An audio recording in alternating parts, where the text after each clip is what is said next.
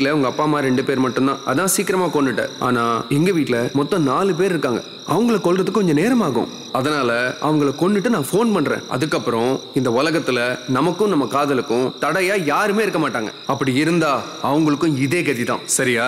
சரி சிவா சீக்கிரமா உங்க அப்பா அம்மாவை கொன்னுட்டு எனக்கு ஃபோன் பண்ணு. இதோ உடனே பண்றேன். என் காதலுக்கு தடையா இருந்ததும் இல்லாம ஏன் நிம்மதியை கெடுத்துட்டு நீங்க நிம்மதியா தூங்குறீங்களா?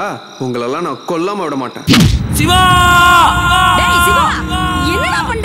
காத்தா தெரியல. உன் புருஷனை கொன்னுட்டேன். சிவா நான் உன் பெரியம்மாடா. என்னை விட்டுருப்பா. நான் எங்காவது போய் பொழைச்சுக்கிறேன். பெரியமானா உன்னை விட்டுறணுமா? உன்னையும் கொல்லாம விட மாட்டேன். சிவா சிவா என்னை விட்டு டேய் சிவா சிவா. யாரையும் விட மாட்டேன்.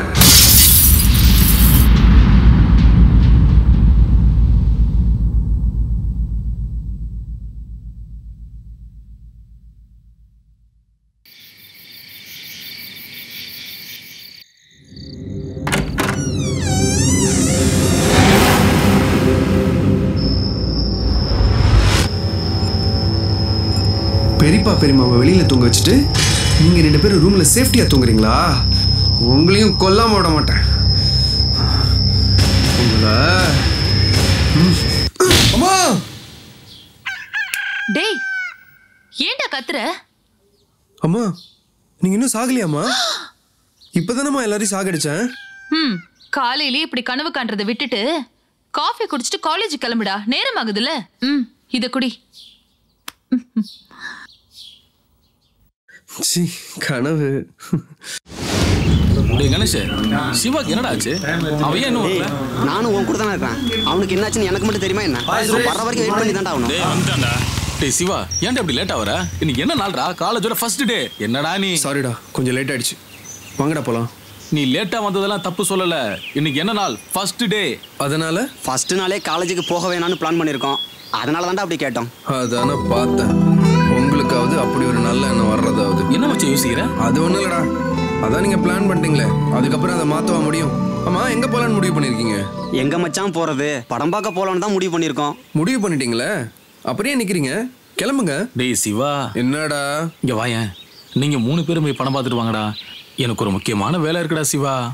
எங்களெல்லாம் விட்டுட்டு போற அளவுக்கு அப்படி என்ன முக்கியமான வேலை? அது ஒன்றும் இல்லடா மச்சான். ஒரு வாரமா கஷ்டப்பட்டு நான் ஒரு ஃபிகர் உசார் பண்ணி வச்சிருக்கேன். இவ்வளவு நாள் விட்டுட்டு அவ இன்னைக்குன்னு பார்த்து வெளியே கூட்டிட்டு போக சொல்றா. அதனால நான் கூட்டிட்டு போய் தான் மச்சி ப்ளீஸ்டா சிவா ப்ளீஸ் சை போய் தலை. வந்த ரொம்ப. தேங்க்ஸ்டா சிவா. நாளைக்கு ஃபர்ஸ்ட் இயர் வெல்கம் பார்ட்டில மீட் பண்ணிக்கலாம். நான் வரேன். என்னடா படம் பார்க்க போலாமா? ஓகே போலாம்.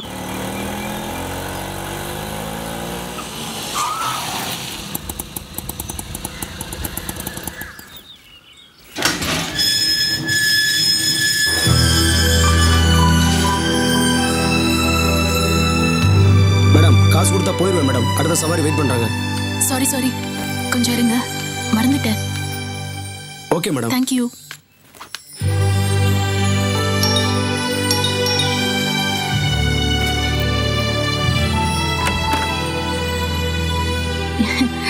உள்ள வரலாமா ஆண்டி? பையன் உள்ள தூங்கிட்டு இருக்காமா மெதுவா பேசு. ஆமா நீ யாரு? நான் பிரியா ஆண்டி. அங்கிளை பார்க்கணும். அப்படியா? உள்ளதான் இருக்காரு. வா வந்து உட்காரு வா. இப்படி உட்காருமா?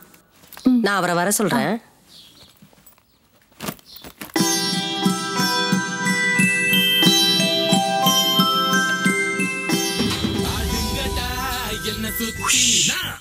உள்ள பையன் தூங்குறான். டிவி எல்லாம் போடக்கூடாது.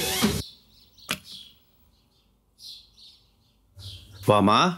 பிரியா. ஆ உட்கார் உட்கார் உட்கார். என்னம்மா? இன்னைக்கு தான் வந்திருக்க? ஒரு வாரத்துக்கு முன்னாடி அனுப்பிச்சு வைக்கிறேன்னு சொன்னா அவங்க அப்ப? உள்ள பையன் தூங்கிட்டு இருக்கானா? கொஞ்சம் மெதுவா பேசுங்க. போற வந்தம்மா என் பையன். இந்த வீட்டுடைய ஒரே வாரிசு. ரொம்ப செல்ல கொடுத்து வளர்த்துட்டோம். தூங்குறப்போ சத்தம் போட்டா கோவப்படுவான். அதான். சரி நீ குளிச்சு ரெடி ஆகு. சாமி கும்பிட்டு டிஃபன் சாப்பிடலாம். ஓகேம்மா ஓகே ரெடி ஆகு.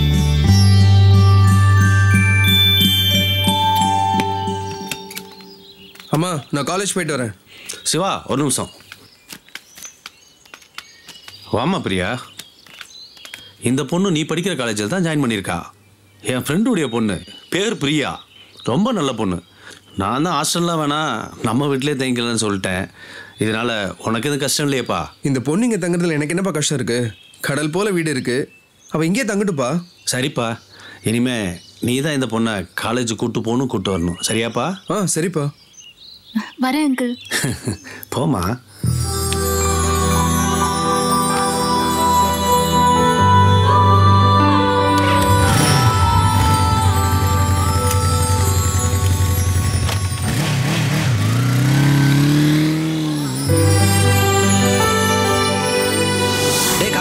சிவா இன்னும் வரல. எப்போ வருவான்?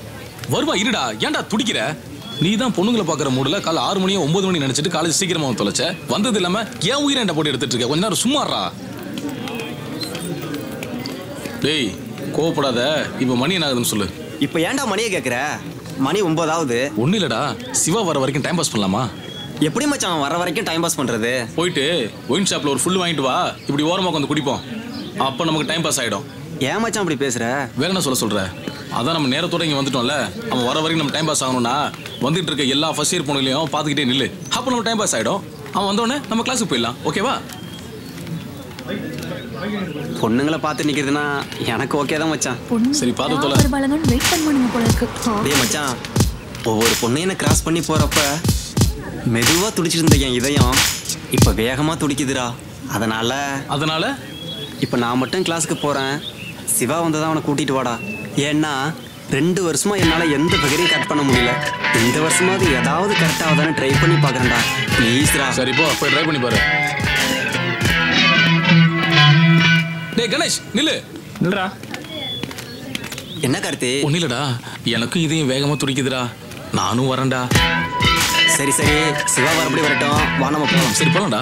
ஏய் இந்த காலேஜில் நம்ம ஃபஸ்ட் இயரை தாண்டி ஜாயின் பண்ணியிருக்கோம். இப்படி நம்ம ஃபர்ஸ்ட் நாளே லேட்டாக போனால் டீச்சர்ஸ் நம்மளை ரொம்ப நல்லவங்கன்னு தாண்டி சொல்லுவாங்க. அதனால தான் சொல்கிறேன் பிரியா வரும்போது வரட்டும். நாம கிளாஸ்க்கு போகலாம் வாங்க. கிளாஸுக்கு போறதெல்லாம் இருக்கட்டும் டி. நம்ம பிளஸ் டூ படிக்கும் போது என்ன பேசிக்கிட்டோம்? என்னடி பேசிக்கிட்டோம்? எனக்கு ஒன்றும் தெரியலையே. காலேஜ் சேர்ந்தா ஒரே காலேஜ்ல சேரணும். ஒன்னா தான் படிக்கணும். காலேஜ் போகும்போதும் வரும்போதும் ஒன்னா தான் போகணும்னு பேசிக்கிட்டோம். இப்போ நீ மட்டும் ஏண்டி தனியா போகணும்னு சொல்ற? நாம லேட்டாக போகிறதுனால ஏதோ ஒன்று நடக்க போகுதுடி. அது மட்டும் உறுதி.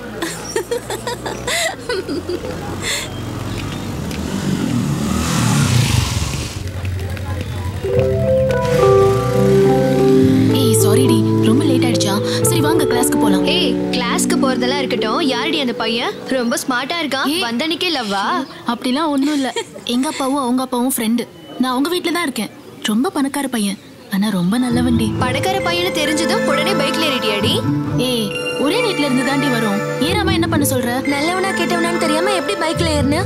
கொஞ்சம் பார்த்து பழகுடி. அவன் அப்படிப்பட்டவன்லாம் இல்லடி ரொம்ப நல்லவன்டி ப்ளீஸ் டி என்ன நம்புங்க. நம்புறோண்டி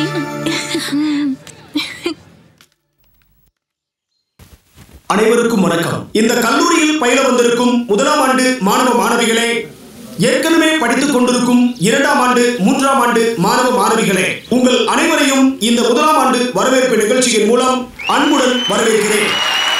இப்பொழுது முதலாம் ஆண்டு மாணவ மாணவிகளை வரவேற்று பேச மூன்றாம் ஆண்டு மாணவன் கணேசை மேடைக்கு அன்புடன் அழைக்கின்றேன். அனைவருக்கும் வணக்கம். என் பேர் கணேஷ். இந்த காலேஜில் தான் மூணு வருஷமா படிச்சுட்டு இருக்கேன். இது வரைக்கும் ஒரு ஃபிகரை கூட என்னால் கரெக்ட் பண்ண முடியல. கரெக்டாக ஆக மாட்டேங்குது. அதனால இந்த வருஷமாவது ஒரு ஃபிகராவது கரெக்ட் ஆகுங்க. ப்ளீஸ் டேய் என்ன பேச சொன்னா என்னப்பா பேசிட்டு இருக்க? முதல்ல கீழே இறங்கி போப்பா சாரி சார் அடுத்தபடியாக தேங்க்யூ முதலாம் ஆண்டு மாணவர்களை வாழ்த்தி பேச கார்த்தியை அழைக்கிறேன். அனைவருக்கும் வணக்கம். நானும் இதே காலேஜில் ஃபைனல் படிச்சிருக்கேன் கணேஷ் இப்படி மூணு வருஷமா வேதனை அனுபவிச்சுட்டு இருக்கானோ அதே வேதனை நானும் அனுபவிச்சுட்டு இருக்கேன். அதனால தான் என்னோட வேதனை என்னன்றதை புரிஞ்சுக்கிட்டு எனக்கு யாராவது உதவி பண்ணுங்க. இல்லைன்னா இந்த வேதனை தொடருங்க. என்னடா பேசுறீங்க? அவன் என்னடானா ஒரு ஒரு கரெக்டாலாம் நீ என்னடானா வேதனைப்பட்டுக்கிட்டு இருக்கேன். உதவி பண்ணுங்கிற. இதைத்தான் பேச வந்தீங்களா சாரி தேங்க்யூ என்ன பேச சொன்னா என்னென்னமோ பேசுறாங்க. அந்த லிஸ்ட்ல இன்னொருத்தர் இருக்காரு. அவர் பேர் வந்து சிவா. அவரையும் மேடைக்கு அழைக்கின்றேன். நீங்க எல்லாம் பேசுறத பார்த்தா ஸ்டூடெண்ட்ஸ் தானாங்கிறது இப்போ எனக்கு வேதனையா இருக்கு. இந்தா உனக்கு என்ன ஃபீலிங் வந்துச்சுன்னு நீயும் பேசு. அதுக்கு தானே நீங்க எல்லாம் அந்த காலேஜுக்கு வந்திருக்கீங்க? இந்த கல்லூரியில் முதலாம் ஆண்டு படிக்க வந்திருக்கும் மாணவ மாணவிகளே இந்த கல்லூரி சார்பாகவும் ஆசிரியர்கள் சார்பாகவும் மற்றும் இரண்டாம் ஆண்டு மூன்றாம் ஆண்டு மாணவ மாணவிகள் சார்பாகவும் உங்களை அன்புடன் வரவேற்கிறேன். இந்த கல்லூரி ஒரு கோயில் போன்றது. நாம் கோவிலுக்கு சென்றால் எவ்வளவு அமைதியாக தெய்வங்களை வழிபடுகிறோமோ அதுபோல இந்த கல்லூரியையும் வழிபட வேண்டும். அதனால் அவர்களை வழிபட்டு உங்கள் சீனியர் மாணவர்களிடம் அன்பை பகிர்ந்து கொண்டு பழகுமாறு கேட்டுக்கொள்கிறேன். நன்றி வணக்கம். Very good Siva. உண்மையிலேயே நான் சிவாவை நினைத்து பெருமை அடைகிறேன். முன்னதாக பேசிய இரண்டு மாணவர்களை நினைத்து வேதனைப்பட்டேன். ஆனால் சிவா பேசியதை நினைத்தால் வேதனையும் சாதனையாக தெரிகிறது. எங்களை மகிழ்ச்சியாக்கியது போல் முதலாம் ஆண்டு மாணவர்களையும் இதே மாணவர்கள் மகிழ்விக்கப் போகிறார்கள் இதோ உங்களுக்காக அந்த இசையோடு சேர்ந்த நடனம் Hi guys and girls, a very very warm welcome to the Grand Freshers Party. Yeah, you're all going to enjoy by tapping your foot on this floor for the fantastic song coming over here.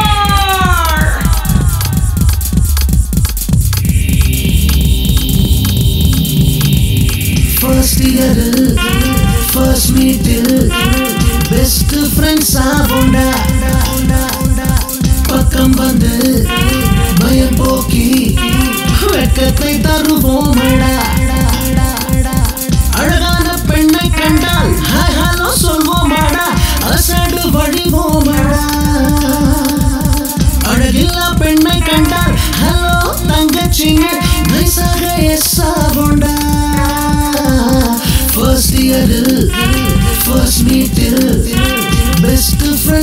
கொண்டா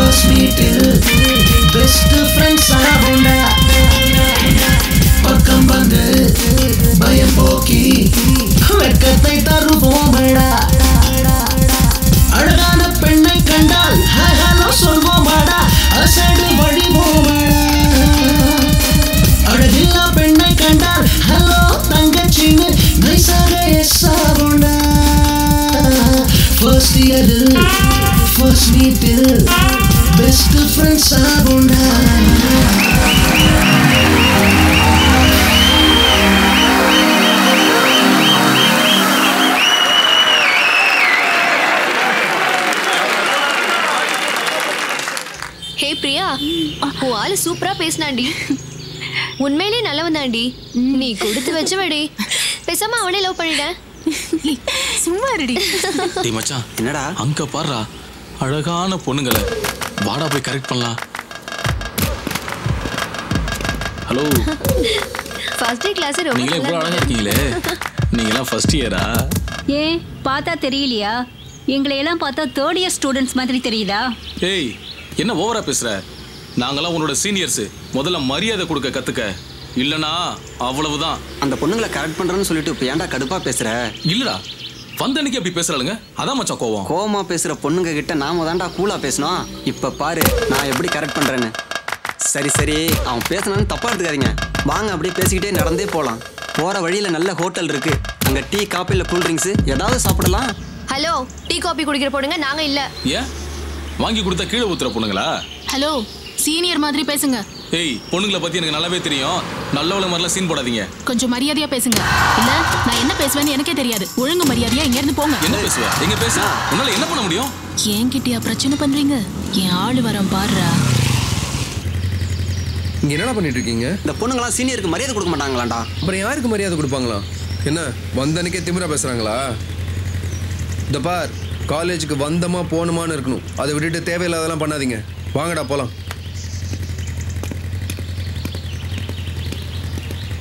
பத்து நிமிஷம் பழக்கத்துக்காக பத்து வருஷம் ஃப்ரெண்ட்ஷிப்லாம் விட்டு கொடுக்க முடியாது. நல்லதோ கெட்டதோ எல்லாமே என் ஃப்ரெண்ட்ஸோட தான்.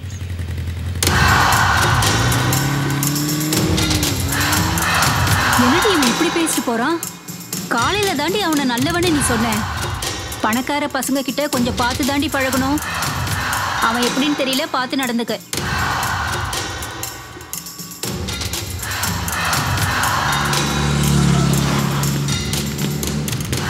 என்னங்க? சீனியர்ஸ்லாம் வந்துட்டு கலாச்சி போயிட்டாங்களா? அவங்க அப்படிதாங்க. ஆனால் நாங்கள் ஃபஸ்ட்டு தாங்க படிக்கிறோம். வாங்க பழகி பார்க்கலாம். ஃபர்ஸ்ட் இயர் ஆண்டி பார்த்தா பத்து பிள்ளைக்கு அப்பா மாதிரி தெரியுது நீங்க ஃபர்ஸ்ட் இயரா ஏய் அவங்கள ஒழுங்கு மரியாதையா போக சொல்லுடி. அப்புறம் என்ன பண்ணுவேன்னு எனக்கே தெரியாது. என்னங்க நீங்கள் யாரோ பண்ண தப்புக்கு போயிட்டு எங்கள் மேலே கோவப்படுறீங்க கோவப்படாதீங்க. பக்கத்து ஹோட்டலுக்கு போயிட்டு கூல் ட்ரிங்க்ஸ் குடிச்சோம்னா உங்கள் கோவம்லாம் கூல் ஆகிடுங்க அதுக்கப்புறம் உங்களை வீட்டில் கூட்டின்னு போயிட்டு நாங்களே ட்ராப் பண்ணுறோம் இந்த டீலிங் பிடிச்சிருந்தா இதையே ஃபாலோ பண்ணுறோம் ஓகேவா அவதான் கோபத்துல இருக்கன்னு சொல்றாள். மரியாதை இங்க இருந்து போயிடுங்க. கோவமாக இருந்தா என்ன பண்ணுவாங்களாம் ஆ? இருப்பீங்களாடா? ஏய் பிரியா.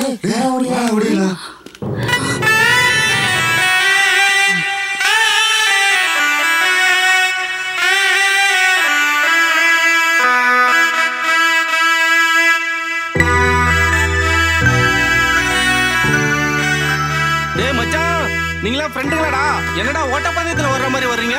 மச்சான் ஆம்புலன்ஸ் கூட்டி வரோம்டா என் படி வீக்குடா அந்த அடியில என்னால தாங்க முடியாதா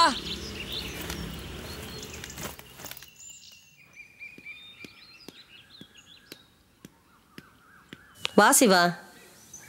டீ சாப்பிடுப்பா.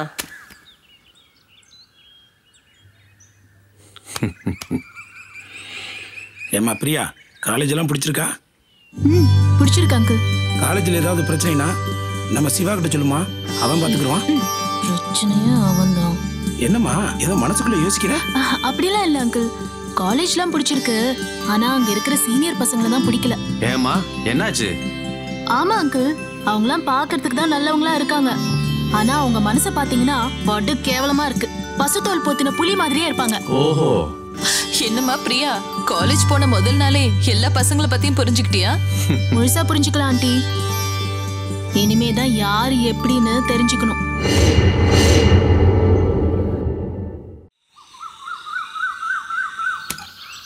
அம்மா நான் காலேஜ் போயிட்டு வரேன். ஏய் சிவா பிரியாவை கூட்டிட்டு போலையா? என்னாச்சு இவனுக்கு? பரவாயில்ல அங்கிள் அவர் போகட்டும். நான் ஆட்டோல போய்க்கிறேன். அவங்க ஃப்ரெண்ட்ஸ் எல்லாம் அவருக்காக வெயிட் பண்ணிட்டு இருப்பாங்க. சரிம்மா இன்னைக்கு நீ ஆட்டோலயே போ. நாளைக்கு அவனோடய போய்க்கலாம்? சரி. பாய் பாய். பாய் ஏய் என்னடி ரொம்ப நேரம் ஆயிடுச்சு. பஸ் இன்னும் வரல. கொஞ்ச நேரம் வெயிட் பண்ணி பார்ப்போம். இந்த ஆட்டோ வந்துருச்சு வா இந்த ஆட்டோலயே போயிடலாம் வா. வெங்கடேஸ்வரா காலேஜ் போறவங்களாம் ஏறிங்க சரி வா ஏறு. சீக்கிரம் ஏறு. ஏய் போடா டேய் ஏய் மச்சான் சீக்கிரம் போடா டேய். நம்ம ஏத்த வேண்டிய பொண்ணுல எல்லாம் ஏத்திட்டு ஆட்டோ வந்து சீக்கிரம் போடா டேய்.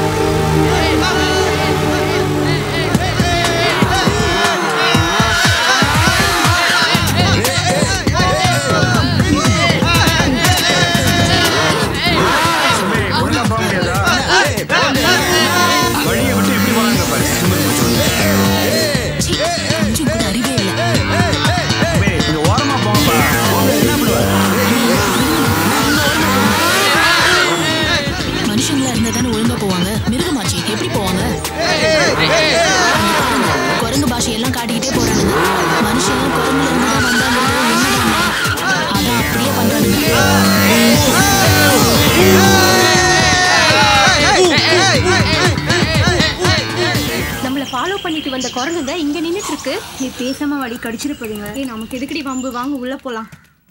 சினிமா பக்கத்தை காட்டுங்க. இன்னைக்கு என்ன படம் ரிலீஸ் ஆயிருக்குன்னு பார்க்கலாம். இந்தா பாருமா என்னம்மா பிரியா? நீ மட்டும் வந்திருக்க? சிவாவை காணும்? அவங்க ஃப்ரெண்ட்ஸ் எல்லாம் போனதுக்கு அப்புறம் தான் ஆண்டி வருவாங்க. வா சிவா. உன்னை பத்தி தான் பேசிட்டு இருக்கோம். உனக்கு ஆயுஸ் நூறு சாமி. உட்காரு. என்னம்மா? இன்னைக்கு காலேஜில் என்ன நடந்தது?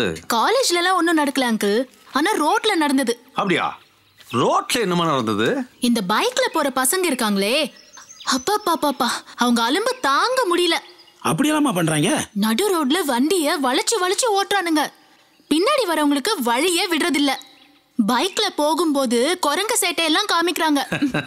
மனுஷன் குரங்குல இருந்து வந்தத இவங்க மூலமா தெரிஞ்சுக்கிட்டேன் அங்கிள் இது மாதிரி எல்லாமா பசங்க பண்றாங்க? எல்லா பசங்களும் அப்படி இல்ல அங்கிள் பைக்ல போற சில பசங்க தான் அப்படி பண்றாங்க.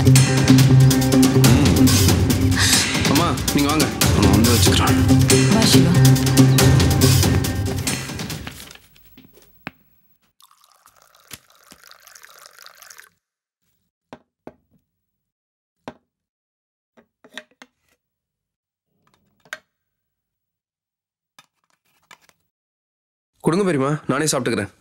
நான் ஊட்டி விடுறேன்டா. என்ன பெரியமா நீங்களும் என்ன குழந்தை மாதிரியே பாக்குறீங்க? டேய் நீ எப்பவுமே எனக்கு குழந்தை தான்.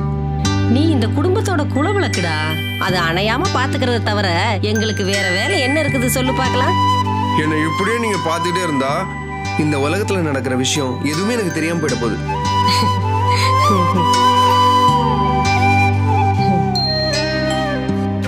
சரி பெரியமா நான் காலேஜ் கிளம்புறேன். என்னடா நீ இன்னும் ரெண்டு வாய் வாங்கிக்கடா? நல்லா சாப்பிடணுங்கண்ணு பெரியமா போன் பெரியமா நான் கிளம்புறேன். சரிப்பா பார்த்து போ நம்ம ஊர்ல இப்படி ஒருத்தியா? சும்மா தக்காளி பழம் மாதிரி இருக்காளே. யாராவது பார்க்கறதுக்குள்ள நம்ம தடவி பார்த்துடலாம்.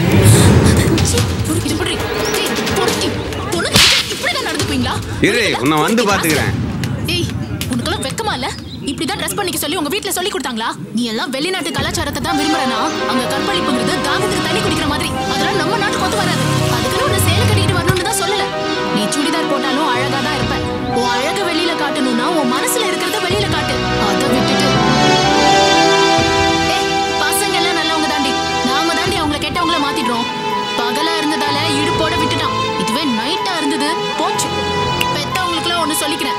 உங்க பொண்ணு ஒரு ஏஜுக்கு வந்துட்டா அவ போடுற ட்ரெஸ்லயும் கவனம் செலுத்துங்க.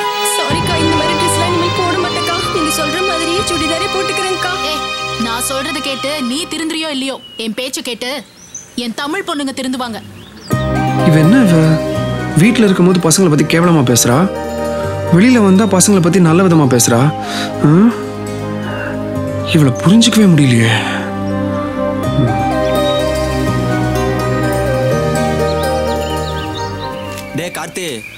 சிவா இப்பெல்லாம் முன்ன மாதிரி இல்லடா.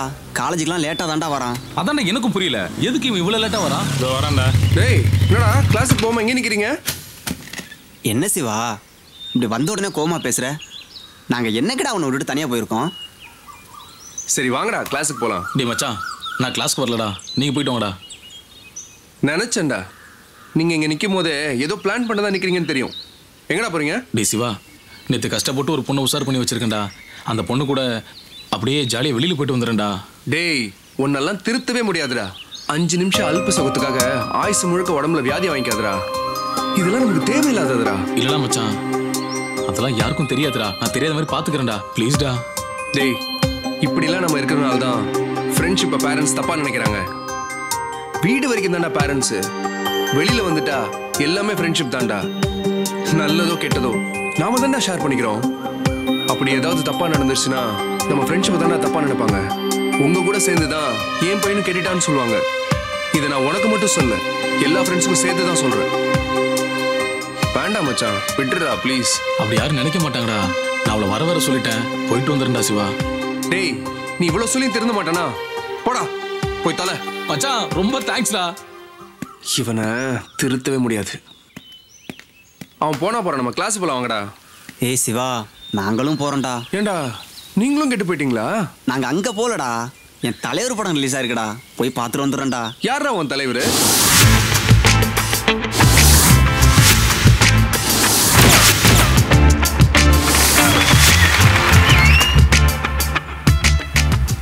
பவர் ஸ்டார் மச்சான்.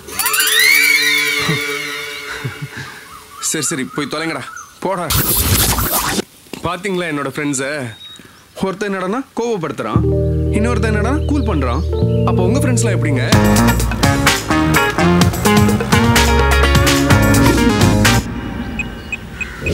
ஹலோ முருகண்ணா ஆமா முருகன் தான் பேசுறேன். நான் சுந்தர் பேசுகிறேண்ணே ஒன்றும் இல்லைண்ணே.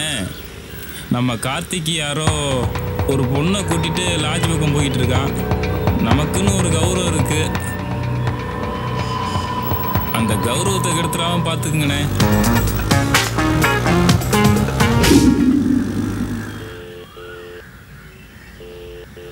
நான் தான் கண்ணன் பேசுறேன் மாப்ள சொல்லு மாப்ள உங்க பையனை காலேஜுக்கு அனுப்புறீங்களா இல்ல கண்ட கண்ட பொண்ணுங்களோட சுத்த அனுப்புறீங்களா இப்படியே போனா அவன் மான மரியாதை எல்லாம் போயிடும் சீக்கிரம் ஒரு கல்யாணத்தை பார்த்து பண்ணுவீங்க அதான் நல்லது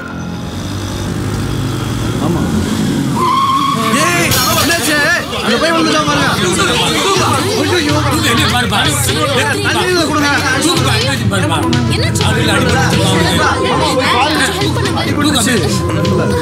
சீனியர் பார்த்து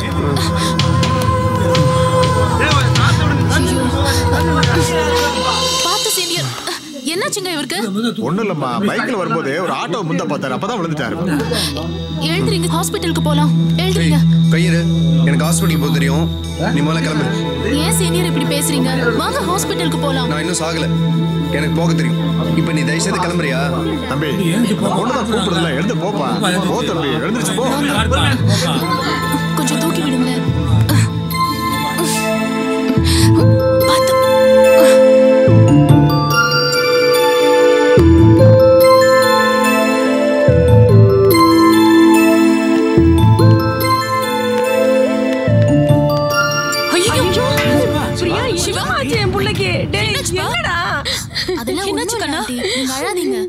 என்னப்பா ஆச்சு? ரொம்ப வலிக்குதா? ஏப்பா சின்ன காயம் தான் ஆண்டி. பார்த்து போக கூடாது சிவா. பிரியா உண்மையை சொல்லுமா என்னமாச்சு அங்கிள் ஒண்ணும் இல்ல அங்கிள். காலேஜ்ல இருந்து வர வழியில பைக் ஸ்லிப் ஆகி விழுந்துட்டாரு. நான் தான் ஆட்டோல கூட்டிட்டு போய் டாக்டர் கிட்ட காமிச்சிட்டு வரேன். டாக்டர் என்னமா சொன்னாரு? ஒண்ணும் இல்ல அங்கிள். கையில தான் லேசான அடி. ஆ, ஒரு வாரம் ரெஸ்ட் எடுக்கணும். பைக்லாம் ஓட்டக்கூடாது. சப்போஸ் ஓட்டினா கை ரொம்ப வீங்கிடும்னு சொல்லிட்டாரு. அம்மா ஒன்றும் ஆகலம்மா. ஐயையோ. நீ அழாதம்மா. பார்த்து போல அல்லப்பா.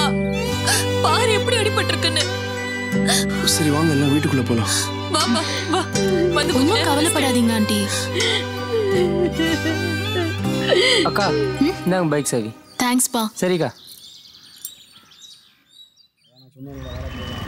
இங்கேயே இறக்கி விடவா? இல்ல உங்க ஃப்ரெண்ட்ஸ் கிட்ட கொண்டு போய் விடவா? ஹலோ வண்டியை நிறுத்துங்க. என் ஃப்ரெண்ட்ஸ்லாம் நிற்கிறாங்க என்னை தப்பா நினைப்பாங்க. அப்படிங்களா? சரிங்க சீனியர் டேய் அங்க பாடுறா வரட்டும் பேசிக்கலாம். நீ கிளம்பு நான் போய்க்கிறேன்.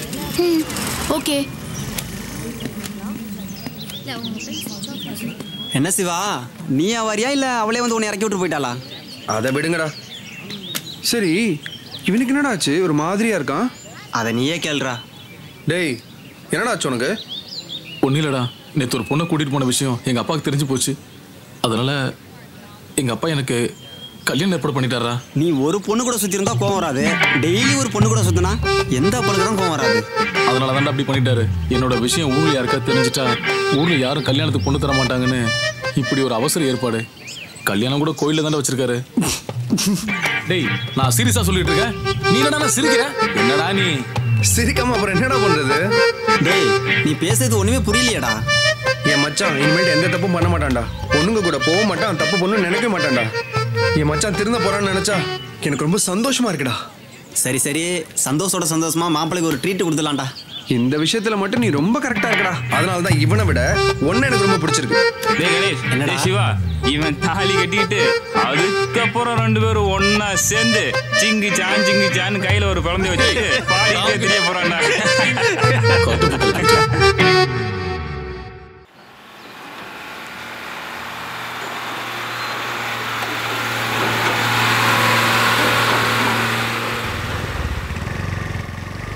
ஏய் லெஃப்ட்ல கட் பண்ணி போ.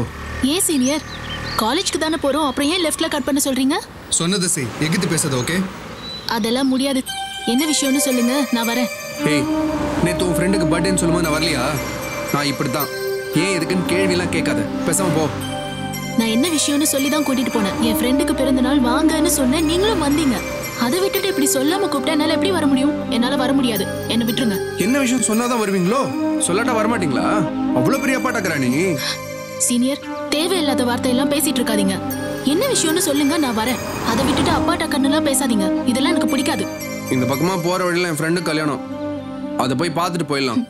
இந்த விஷயத்த முன்னாடியே சொல்லிருக்கலாம்ல. ஏன் தேவையில்லாம கோவப்படுறீங்க? ம்?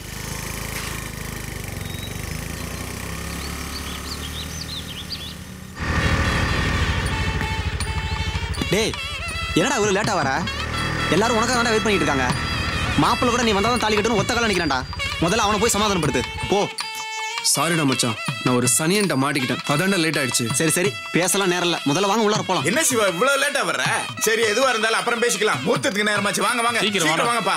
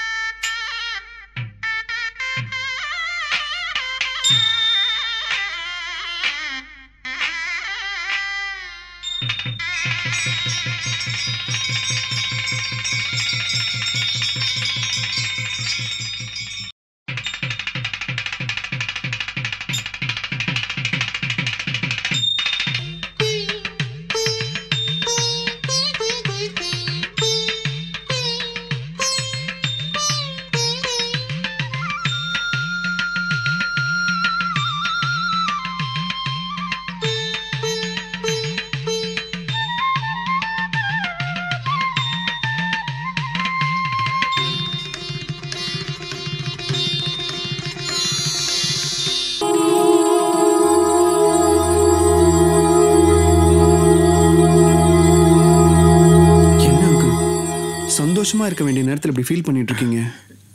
எல்லாம் கார்த்தியை நினைச்சுதான்ப்பா. அவனுக்கு என்ன அங்கிள் புது மாப்பிள்ளை புது வாழ்க்கை. இனிமேல்ட்டு எல்லாமே புதுசா ஆரம்பிக்க போகுது. ஒண்ணும் இல்லப்பா என் பையனை பத்தி உனக்கே நல்லா தெரியும்ல. அவன் தினம் தினம் ஒரு பொண்ணு கூட இருக்கணும்னு நினைக்கிறவன். இந்த விஷயம் இந்த பொண்ணோட அப்பா அம்மா காதுல விழுந்துச்சுன்னு வச்சுக்க இப்பவே அவங்க பொண்ணை கூப்பிட்டுக்கிட்டு அவங்க வீட்டுக்கு போயிருவாங்க. இந்த விஷயம் அவங்களுக்கு தெரியறதுக்குள்ள இந்த இடத்த விட்டு காலி பண்ணிருந்துப்பா அதுக்கு பிறகு நான் பாத்துக்கிருவேன். அதனால தான்ப்பா சொல்றேன். முதல்ல இங்க இருந்து எல்லாரும் கிளம்பிருந்தேன் சிவா. அங்கிள் அப்படிலாம் எதுவும் நடக்காது அங்கிள். நாங்க பாத்துக்கிறோம். நான் போய் கார்த்தியை கூப்பிட்டு வந்துடுறேன். சரிப்பா.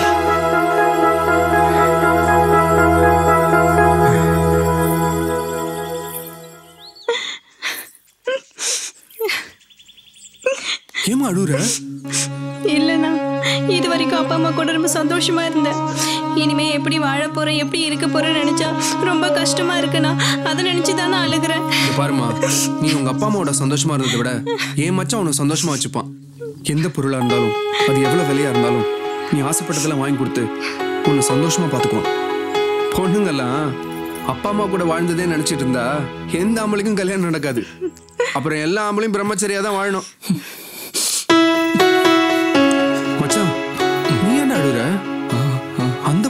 புதுசு உனக்கு இதெல்லாம் பழசு தானே அழாதடா. நான் அதுக்காக அழலடா. வேற எதை நினைச்சு அழுவுற? இல்லடா. என்னை பத்தி உனக்கு நல்லாவே தெரியும். ஒரு சின்ன பொருள் வாங்குறதா இருந்தாலும் எங்க அப்பா கிட்ட தான் நான் பணம் கேட்பேன். அதை வச்சு தான் நான் பந்தாவா வாழ்றேன். நீ என்னடா அந்த பொண்ணுகிட்ட போய் என் மச்சான் கிட்ட எந்த பொருளை கேட்டாலும் அது எவ்வளவு விலையா இருந்தாலும் வாங்கி தருவேன்னு சொல்லிட்டியடா. அப்படி அவ கேட்ட நான் என்னடா பண்றது? இப்படிலாம் அவங்க உங்க அப்பா அம்மா நினைச்சிருந்தாங்கன்னா நீ எங்க நான் எங்க? இந்த உலகத்துல யாருமே சந்தோஷமா வாழ்ந்திருக்க முடியாதுடா. யாருமே பிறந்திருக்கவும் முடியாது.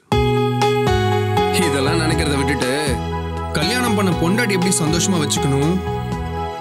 அப்பா அம்மாவை எப்படி சந்தோஷமா வச்சுக்கணும்? பிறக்க போற குழந்தை எப்படி சந்தோஷமா வச்சுக்கணும்னு நினைங்க. அதை விட்டுட்டு நீ நினைக்கிற மாதிரி நினைச்சா எந்த ஆம்பளையும் ஆம்பளையா வாழ முடியாதுடா. முதல்ல அப்பா அம்மா காசுல வாழ்றதை நிறுத்துங்க. அப்பதான் நீங்க சொந்த கால்ல நிக்கலாம். சரியா? வாடா போலாம். போலாம் மச்சான். வாமா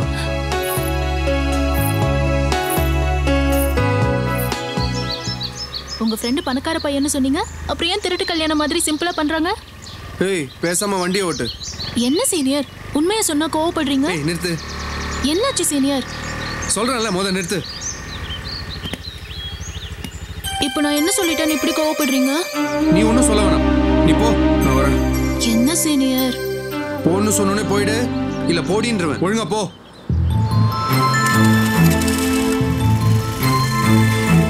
போன்னு சொன்னோன்னே போயிட்டா வீட்டுக்கு வரட்டும். பார்த்துக்கலாம்.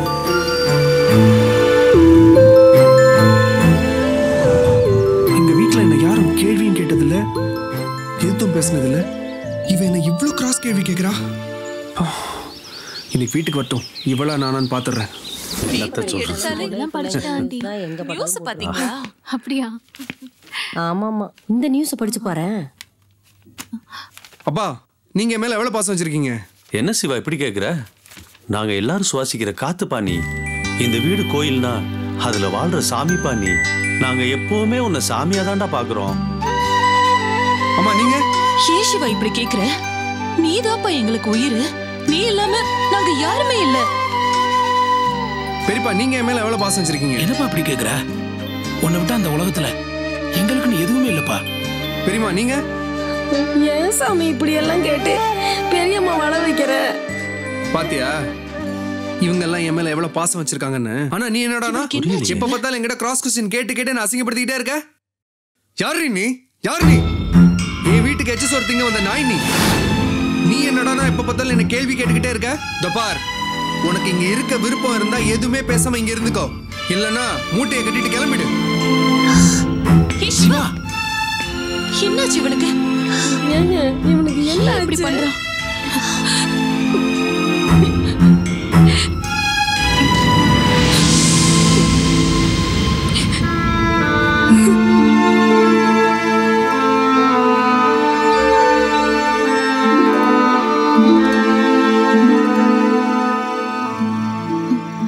அங்கிள் என்ன அங்கிள் நீங்க எங்க இன்னும் தூங்கலையா?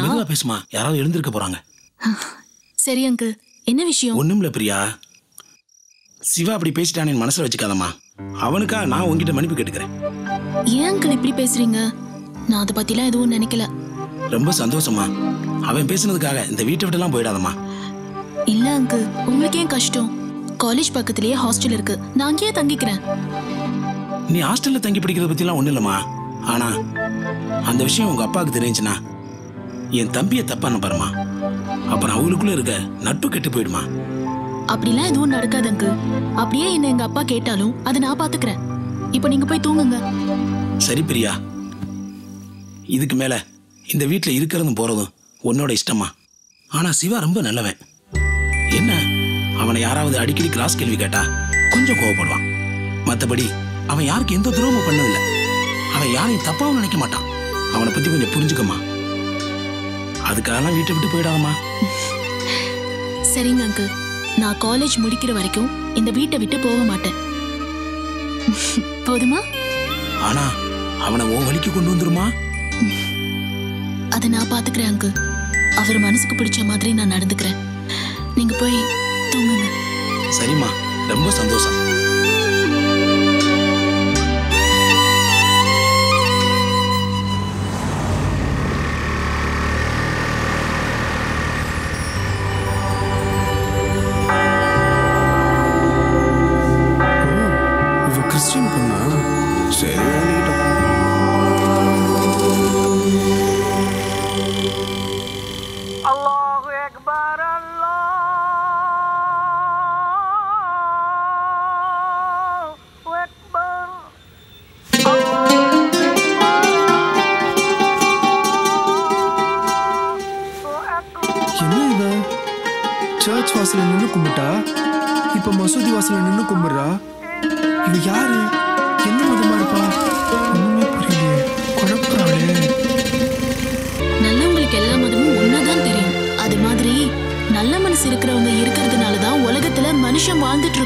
இல்லைன்னா நீ வேற மதம் நான் வேற மதம்னு சொல்லி அம்மாவை அடிச்சுக்கிட்டு சாக வேண்டியதுதான்.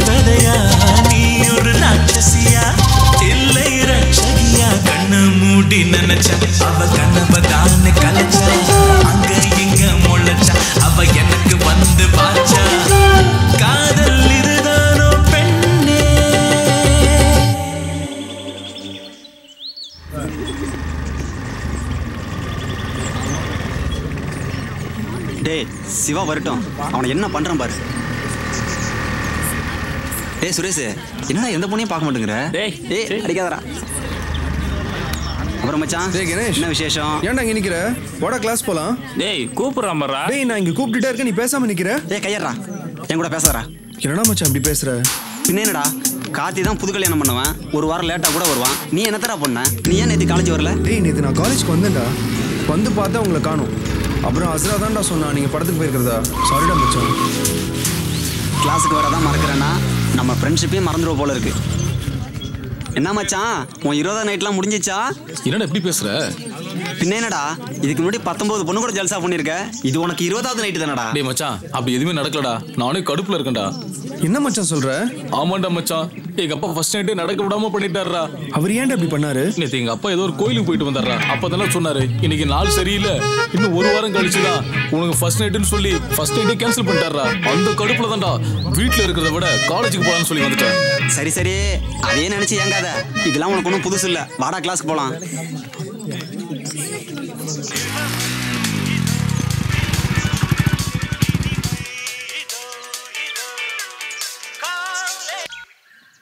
ஹலோ? ஹலோ? யார் பேசுறீங்க? நான் தான் கீதா பேசுறேங்க. எந்த கீதா? நான் தாங்க. யாருன்னு தெரியலையே. அன்னைக்கு கூட பஸ் ஸ்டாப்ல நான் நின்னுட்டு இருக்கும்போது என்ன கூப்பிட்டீங்களே. நான் கூட வர அந்த கீதாவா? என்ன வேணும்? சொல்லுங்க. அன்னைக்கு நீங்க என்ன கூப்பிடும்போது என் அப்பா அம்மா பக்கத்துல இருந்தாங்க. அதனால சரியா பேச முடியல. நாளைக்கு எல்லாரும் ஊருக்கு போறாங்க.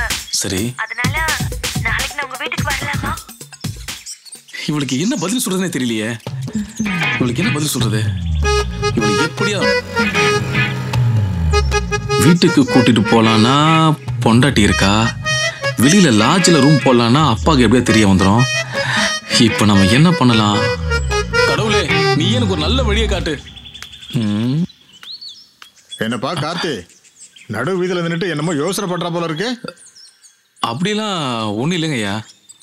இல்லப்பா அடுத்த வாரம் காசிக்கு தீர்த்த யாத்திரை. அதுக்கு நான் என்ன பண்றது? நீ ஒன்றும் பண்ண வேண்டாம். நம்ம தெருவில் இருக்கிற எல்லாரும் நாளைக்கு காசிக்கு போறோம். அதான் உங்க குடும்பத்திலே யாராவது வரீங்களான்னு கேட்டேன். அங்க போனா செஞ்ச பாவத்தெல்லாம் விட்டுட்டு புண்ணியத்தை தேடிக்கலாம். என்னப்பா பதிலே காணோம்? கண்டிப்பா நான் வரேன் சரிப்பா. கடவுளே நீயே எனக்கு ஒரு நல்ல வழியை காமிச்சிட்ட. நீ எப்பவுமே என் கூட தான் இருக்கிறங்கிறத இப்போ நீ நிரூபிச்சிட்ட.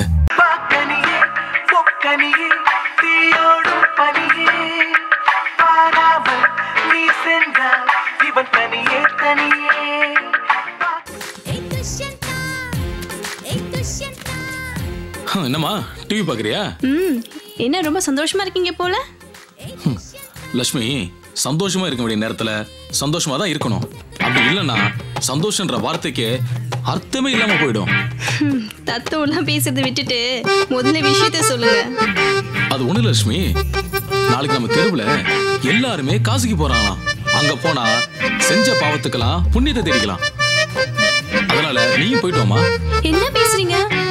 காசிக்கு போகணும்னா வாழ்க்கையை நல்லா வாழ்ந்ததுக்கு அப்புறம் இன்பம் துன்பம் எல்லாத்தையும் பார்த்துட்டு அதுக்கப்புறம் தாங்க காசிக்கு போவாங்க. ஆனா நம்ம நேத்து தான் கல்யாணம் பண்ணோம். அதுக்குள்ள காசிக்கு போக சொல்றீங்க? ஐயோ என் கஷ்டத்தையே புரிஞ்சுக்க மாட்டாளே இவளை என்ன சொல்லி அனுப்பி வைக்கிறதுனே தெரியலையே. என்னங்க அமைதியாயிட்டீங்க? அது ஒண்ணு இல்ல லட்சுமி. நீ காசிக்கு போயிட்டு வந்தனா நான் செஞ்ச பாவத்தையும் நீ செஞ்ச பாவத்தையும் அங்கேயே விட்டுட்டு புண்ணியத்தை தேடிட்டு வரலாம். அதுக்கப்புறமா நீயும் நல்லா இருப்ப மாமா நானும் நல்லா இருக்கலாம். இதெல்லாம் ஏன் நான் உன்கிட்ட சொல்றேன் தெரியுமா? எல்லா குடும்பத்திலயுமே புருஷன் சொல்றதுதான் பொண்டாட்டி கேப்பா. அதனால தான் நான் உன்கிட்ட சொல்றேன். நீ போயிட்டு வந்துடா செல்லம். ப்ளீஸ்மா ப்ளீஸ்டா செல்லம். சரி சரி. போறேன். கட்சிப்பு எடுத்து தொடச்சுக்குங்க. வழியுது குறும்புக்காரி.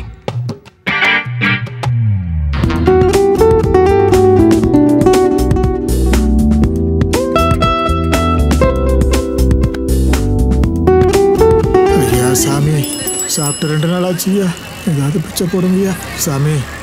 ஐயா தர்மம் பண்ணுங்கய்யா. ஐயா அம்மா சாப்பிட்டு ரெண்டு நாள் ஆச்சுமா. ஏதாவது தர்மம் பண்ணுங்கம்மா.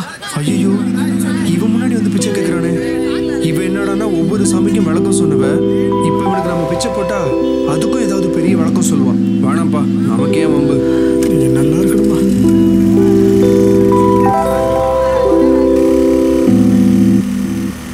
நாசமா போனடா என்ன சீனியர்?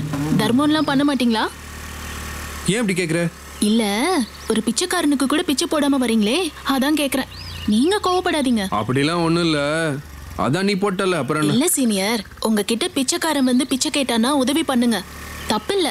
நமக்கு நல்லதுதான் நடக்கும். நான் உனக்கு பயந்துட்டு தான் பிச்சையே போடாம வந்தேன். என்ன சைலண்ட் ஆயிட்டீங்க?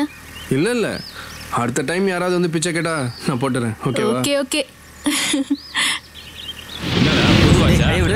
என்னடா இங்க நிக்கிறீங்க? கிளாஸ் போலியா? நாங்களும் உனக்காக தான் மச்சான் வெயிட் பண்ணிக்கிட்டு இருக்கோம். டேய் எனக்காக வெயிட் பண்ணீங்களா? இல்ல ஏதாவது ஃபிகர் வெயிட் பண்ண சொல்லுச்சா? டேய் என்னடா? கார்த்திக்கு தான் கல்யாணம் ஆயிடுச்சு. உனக்கும் கல்யாணம் ஆன மாதிரி ஒரு பொண்ணை கூட சுத்திக்கிட்டு இருக்க. எங்களுக்கு எந்த பக்கம் செட் ஆகலன்னு வெறுப்பேத்தி பாக்குறியாடா எங்களோட வேதனை உன்னை சும்மா விடாதுடா. என்னடா மச்சான்? சாபம் விடுறியா சீச்சி தப்பா எடுத்துக்காத மச்சான். என் ஃப்ரெண்டை போயிட்டு அப்படிலாம் நினைப்பானடா. சும்மா விளையாட சொன்ன மச்சான். நீ என்னடா அப்படி கோவப்படுற மாதிரி இப்ப சொல்லிட்ட? சரி வா கிளாஸ் போலாம். டேய் மச்சான் இவங்களாம் எங்கடா போறானுங்க? எங்கடா போறீங்க? காலேஜ் தான் பாஸ் காலேஜுக்கா? அன்னைக்கு என்னடானா சேலை விற்கிற மாதிரி போறீங்க? இன்னைக்கு என்னடானா கடலை விற்கிற மாதிரி போறீங்க? ஆனா காலேஜில் எல்லா அலும்பையும் தாங்கிக்கலாம்டா. ஆனா உங்க நாலு பேர் அலும்பை எங்களால் தாங்கவும் முடியலடா. காலேஜுக்கு தான் பாஸ் காலேஜுக்கு தான் மச்சான் அவனை போறத பத்தியா? காலேஜுக்கு தான் பாஸ் காலேஜுக்கு தான் பாஸ் காலேஜுக்கு தான் பாஸ்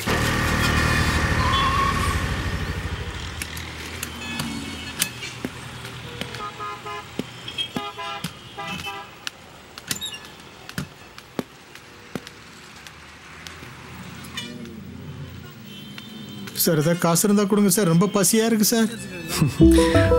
நல்ல நேரத்துக்கு தான் பிச்சைக்காரன் வந்திருக்கான். இவ வந்து பார்த்து ஏதாவது கருத்து சொல்றதுக்கு முன்னாடி நம்ம பிச்சையே போட்டுருவோம்.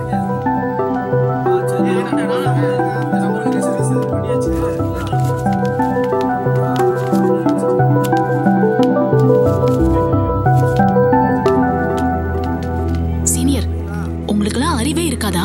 யாருக்கு பிச்சை போடணும் யாருக்கு போடக்கூடாதுன்னு உங்களுக்கு தெரியாதா? ஏய் என்ன நினைச்சிட்டு மனசுல? காலையில பிச்சை போடுன்ற இப்ப பிச்சை போட்டதுக்கு அறிவில்லையான்னு கேக்குற? தொபார் இதுக்கு மேல பேசினா அவ்வளவுதான். இவனை பாருங்க இவனுக்கு கை கால்லாம் நல்லா தானே இருக்கு. உழைச்சு சாப்பிடலாம்ல அதை விட்டுட்டு இவனுக்கு போய் பிச்சை போடுறீங்க?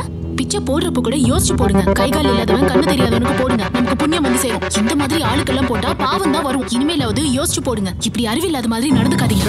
அறிவில்லாதவனா? யாரை பார்த்து அறிவில்லாதவன்ற? உன்னை என்ன பண்ற அங்க பாருங்க என்ன ஓட்டம் ஓடுறான்னு. அவனுக்கு எல்லாமே நல்லா தானே இருக்கு. நீங்க என்ன இப்போ அடிச்சு இங்க விட்டுட்டேன் இன்னொரு வாட்டி என் மேல கை பட்டுச்சு அவ்வளவுதான் சொல்லிட்டேன். ஏய் என்னடி பண்ணுவ? என்ன பண்ணுவ? சொல்டி. உன்னால ஒண்ணும் பண்ண முடியாது. அடிக்க போறியா? அடி. அடி. ஏய் என்னைய அடி அடிச்ச? என் மேலேயே கையை வச்சிட்டியா? இந்த சிவா யாருன்னு காட்டுறேன்டி. உன்னை சும்மா விட மாட்டேன்டி. ஆட்டோ.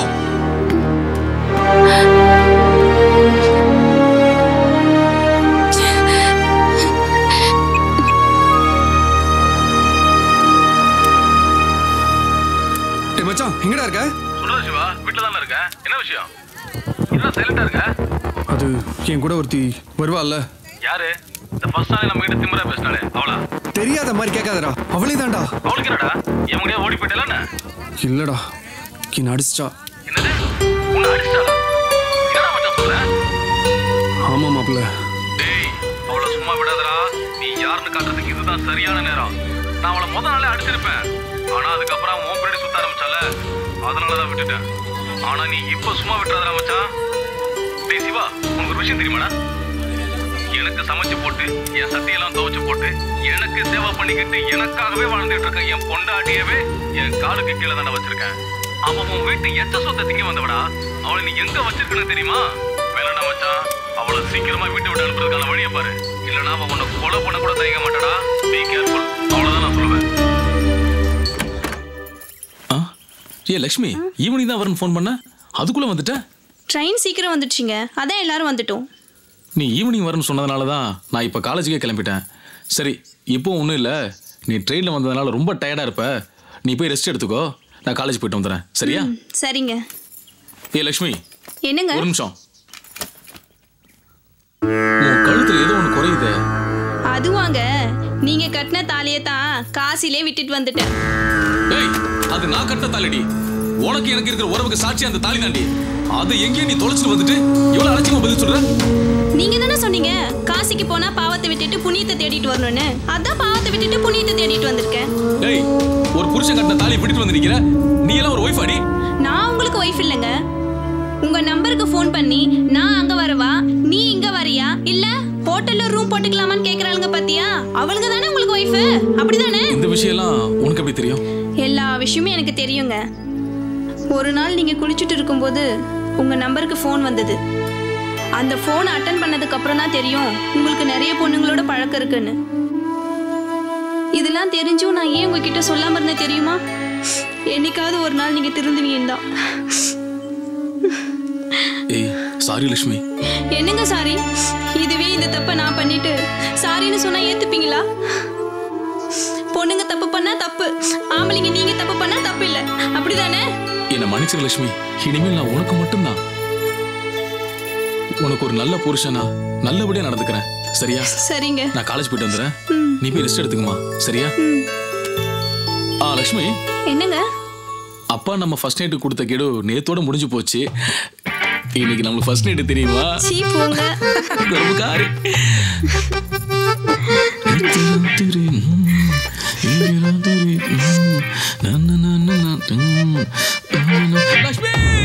என்னங்க? என்னாச்சுங்க? மாலை அங்க போய் வாங்கிக்கலாம். நான் எல்லாத்தையும் எடுத்து வச்சிட்டேங்க. எதுவும் மறக்கலையில அக்கா ஏதாவது மறந்துட்டா அங்க போய் வாங்கிக்கலாம். ஏண்டா? நீ இன்னும் கிளம்பலையா? கோயிலுக்கு போகணும்ல? இல்லைம்மா நான் வரல. நீங்கள் போயிட்டு வாங்க. வருஷ வருஷம் தான் நான் வரல இந்த வருஷம் நீங்கள் சாமியை கும்பிட்டு வாங்க. சரிப்பா. வீட்டில் படுத்து ரெஸ்ட் எடு. நாங்கள் போய் சாமி கும்பிட்டு வர்றோம். வாமா வரேன்ப்பா. ஏம்மா பிரியா நீ வரலையாம்மா?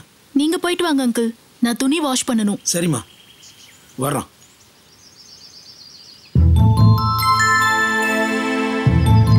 உங்களை எப்படியாவது திருத்தி என் இதயத்துக்குள்ள வச்சுக்கலாம்னு நினைச்சேன்.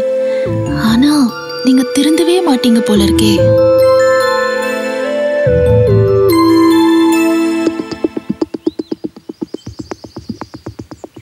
எங்கள் வீட்டில் என்ன யாரும் கேள்வியும் கேட்டதில்ல.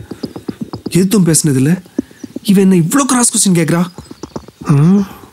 இவளை எப்படி வீட்டை விட்டு தடுத்துறது?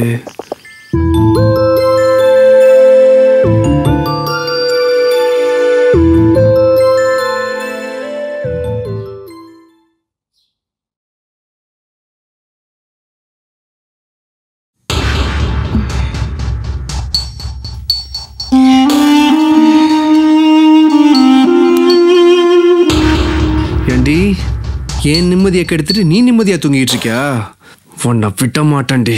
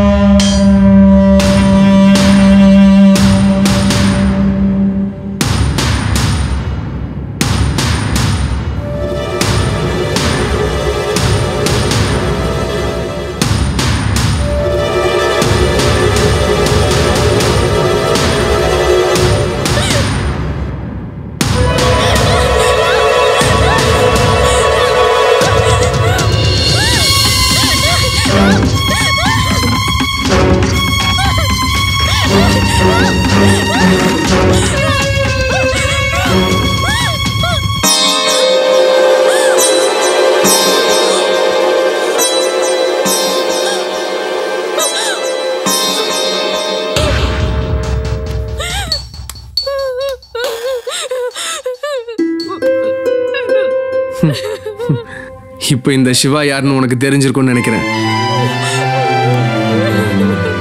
உன்னை இந்த வீட்டை விட்டு துரத்துறதுக்கு எப்படிலாம் பிளான் பண்ண தெரியுமா? ஆனா முடியல. இப்படி பிளான் பண்ண முடிஞ்சிருச்சு. இனிமேல் இந்த வீட்டில் நீ இருக்க மாட்டேன்னு நினைக்கிறேன். இப்போதான் இந்த சிவா பத்தி முழுசா தெரிஞ்சிருக்கும். இனிமே இந்த சிவா வாழப்போற வாழ்க்கையே வேற. வரட்டா?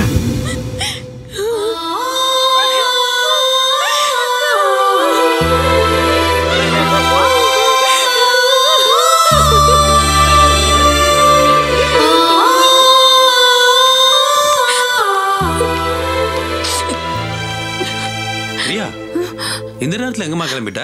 அப்பாவுக்கு உடம்பு சரியில்லையா? இப்போதான் ஃபோன் வந்தது அங்கிள் அதான் கிளம்புறேன். ஓ. ஏமா சிவா வீட்ல தானே இருக்கான் கூட்டிட்டு போக வேண்டியதானே? இல்ல வேணாம் ஆண்டி. நானே போய்க்கிறேன். சரிம்மா. ஊருக்கு போயிட்டு அப்பாவுக்கு எப்படி இருக்குன்னு ஃபோன் பண்ணு. சரிங்க. அதுக்கப்புறமா நாங்க வரோம். சரியா? சரி பார்த்து போமா சரி பார்த்து வாம்மா. சரிம்மா பத்திரமா போயிட்டு வா. இப்படிப்பட்ட பேரண்ட்ஸ்க்கு எப்படி ஒரு பிள்ளையா?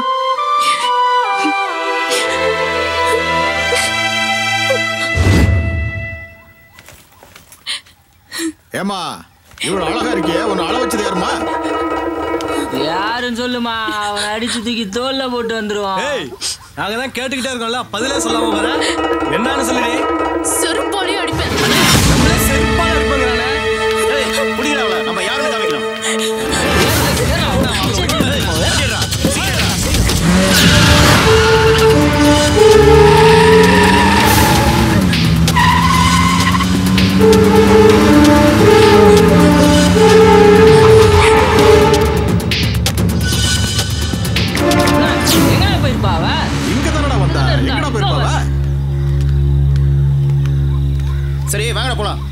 அவ இங்க தானே வந்தா? வாங்கண்ணே உள்ள போய் தேடி பாப்போம். இவன் வேற போறேங்கிறவனை இங்கே தேட சொல்றான். ஐயோ. டேய் இது ஒன்றும் பழைய பட சீன் இல்லடா. வில்லனுங்க துரத்துனா பக்கத்தில் போய் ஒளிஞ்சிக்கிறதுக்கு இது புது பட சீனடா அவ இந்நேரம் வேற இடத்துக்கு எஸ்கேப் ஆயிருப்பா. வாங்கடா வேற இடத்துல போய் தேடி பார்க்கலாம். சரி வாங்கடா போலாம். அண்ணே அவன் எங்க தானே இருப்பான் வாங்கண்ணே தேடி ஏய் பார்க்கலாம் நீங்க ஓவரா நடிக்கிறீங்க. அடுத்த படத்துல டேரக்டர் வாய்ப்பு தர மாட்டாரு. ஒழுங்கு மரியாதை வாங்க. அப்படின்னா போயிடலாம். வாங்கண்ணே.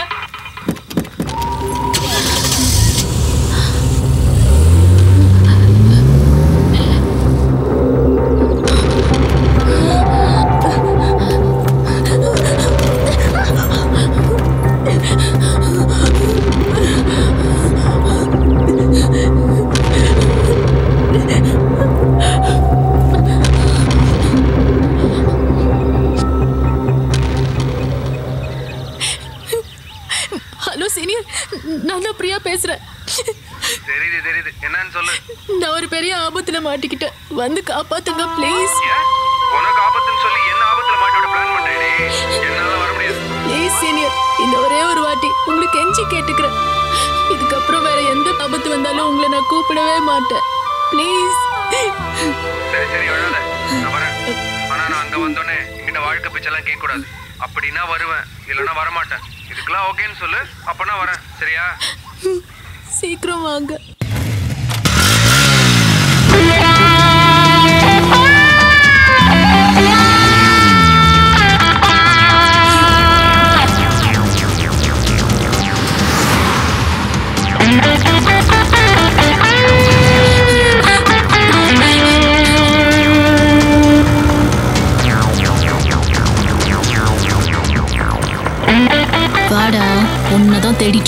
இவ்ளோ சீக்கிரமா வந்துட்ட?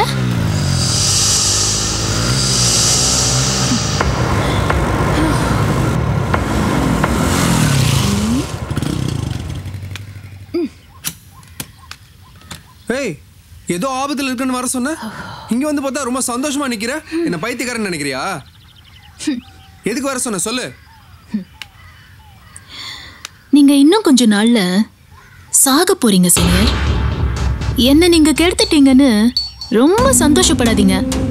ஒன்னு பிடிக்க அந்த யம நெருங்கிட்டு இருக்கான் அந்த யமனும் ஏன் மூலமா தான் வந்துட்டு இருக்கான் ம்? என்ன? ஒண்ணுமே புரியலையா? என்ன? எனக்கு எய்ட்ஸ் இருக்கு. அதனால நீங்களும் சாக போறீங்க. நானும் சாக போறேன்.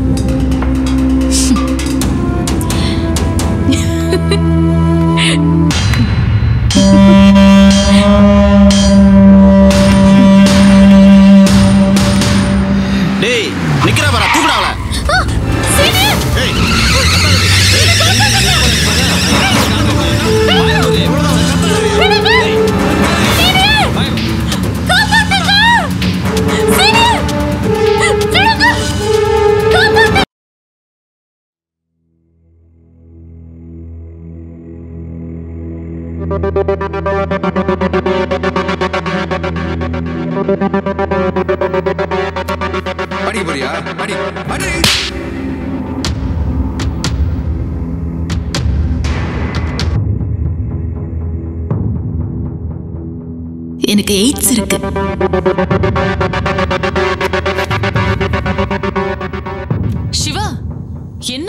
சாப்பிடாமே காலேஜ் கிளம்பிட்ட? சாப்பிட்டு போப்பா. இல்லைம்மா பசிக்கல. நான் சாயந்தரம் வந்து சாப்பிட்டுக்கிறேன். என்னப்பா நேத்து ராத்திரி ஒன்னும் சாப்பிடல இப்போவும் சாப்பிடல? உடம்புக்கு ஏதாவது முடியலையா? அதெல்லாம் ஒன்றும் இல்லைம்மா. எனக்கு காலேஜ் டைம் ஆகுது. நான் கிளம்புறேம்மா. ம். சுமதி எங்கம்மா? சிவா வாழ காணோம்.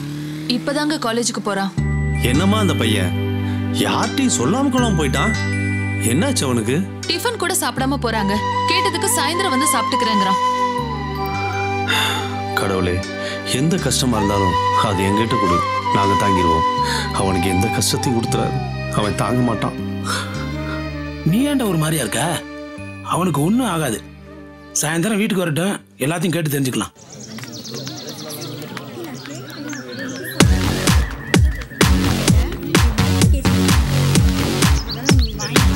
மச்சி காலேஜ் தான் போயிட்டு இருக்கேன் உள்ள போய் அட்டண்டன்ஸ் போட்டு வைக்கிறேன்.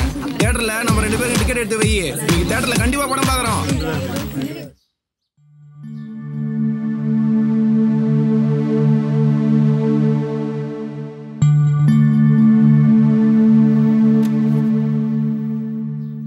அம்மா ஏன் எல்லாம் ஒரு மாதிரியா உட்காந்துருக்கீங்க உங்களுக்கெல்லாம் என்னாச்சு?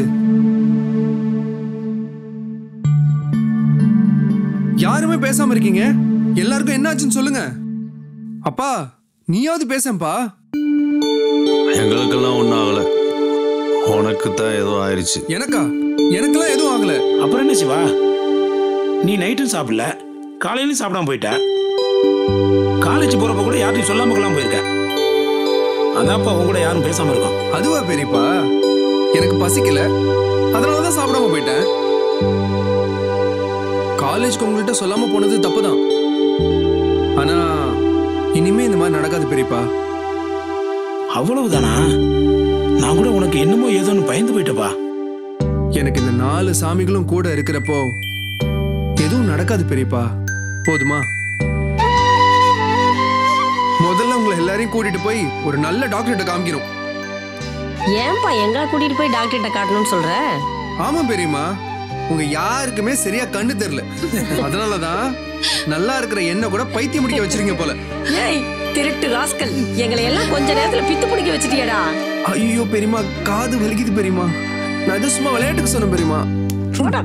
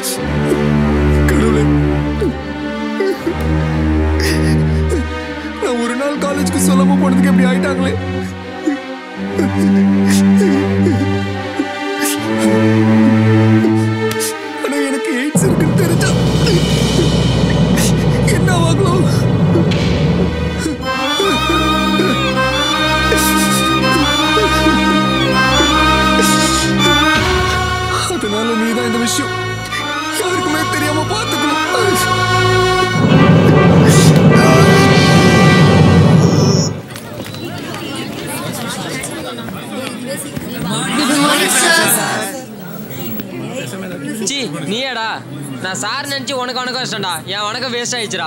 சரி சரி உக்காரு. நம்மள முட்டாளாக்கிட்டானேடி. இவனை பார்த்து ஏமாந்துட்டமே.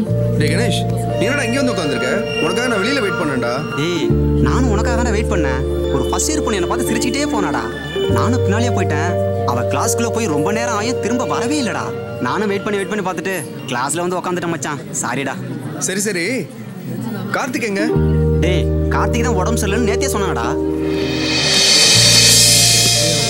அப்புறம் எப்படி வருவான்? ஓ சுத்தமா மறந்து போச்சு மச்சான். டேய் சார் வந்திருக்கிறது கூட தெரியாம அப்படின்னா உங்களுக்கு சுவாரஸ்யமா பேச்சு கேக்குது? குட் நான் கேட்டதுக்கு அப்புறம் வணக்கம் சொல்லுங்கடா. உங்களெல்லாம் ரொம்ப நல்ல பசங்க நினைச்சேன் பாரு. சாரி சார் இப்போ தான் உங்களை மாதிரி ஒருத்தன் வந்து ஏமாத்திட்டான்.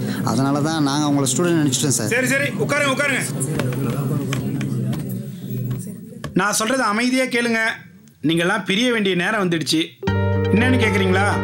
ஃபைனல் இயர் ஃபேர்வெல் டே ஃபங்க்ஷனும் ஃபைனல் இயர் எக்ஸாமும் வந்துடுச்சு. அதனால நீங்க எல்லாரும் நல்லா படிச்சு பாஸ் பண்ற வழியை பாருங்க. நான் சிவாவை ஒரு பத்து வருஷம் கழிச்சு பார்க்கறேன்னு வைங்க. சிவா என்னை பார்த்த உடனே ஓடி போய் மறையக்கூடாது.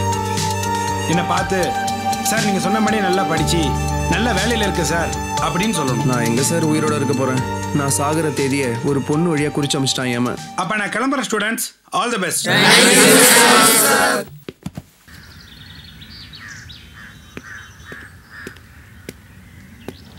என்ன சிவா தனியா உட்காந்துருக்க உன் ஃப்ரெண்ட்ஸ் எல்லாம் எங்க? அவங்களாம் வீட்டுக்கு போயிட்டாங்க மாஸ்டர் உங்ககிட்ட ஒரு முக்கியமான விஷயம் பேசணும் மாஸ்டர் எதுவா இருந்தாலும் சொல்லு சிவா. ஒன்றும் இல்லை மாஸ்டர் எங்க அப்பாவோட ஃப்ரெண்டோட பொண்ணு எங்க வீட்டில் தான் தங்கி படிச்சா. சரி.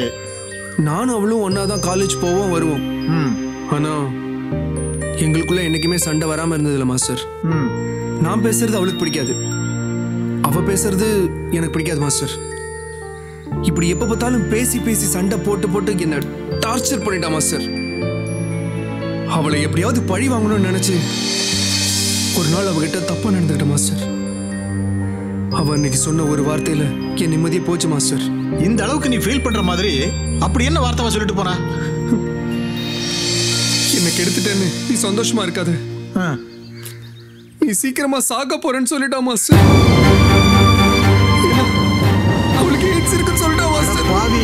அப்படியா சொன்னாவ? அவ சொன்னதெல்லாம் மறந்துட்டு வாழம் பாரு சிவா. என்னால முடியல மாஸ்டர் பேசாம செத்துலாம் தோணுது மாஸ்டர் இப்படிலாம் ஏன்டா பேசிட்டு இருக்க? செத்துட்டா எல்லாம் சரியாயிடுமா? கொஞ்ச நேரம் உன் குடும்பத்தை நினைச்சு பாரு. உனக்காகவே வாழ்ந்துட்டு இருக்கிற எப்பவும் கலகலன்னு பேசிட்டு இருக்கிற?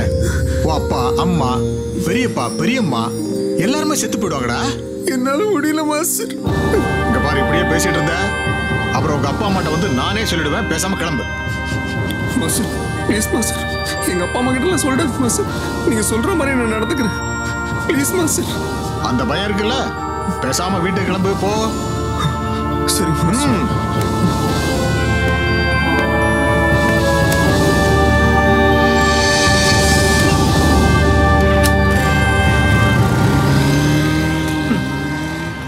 இப்படி ஒரு நல்ல பையனுக்கு இந்த நிலைமையா? ஈஸ்வரா நீ தான் காப்பாத்தணும்.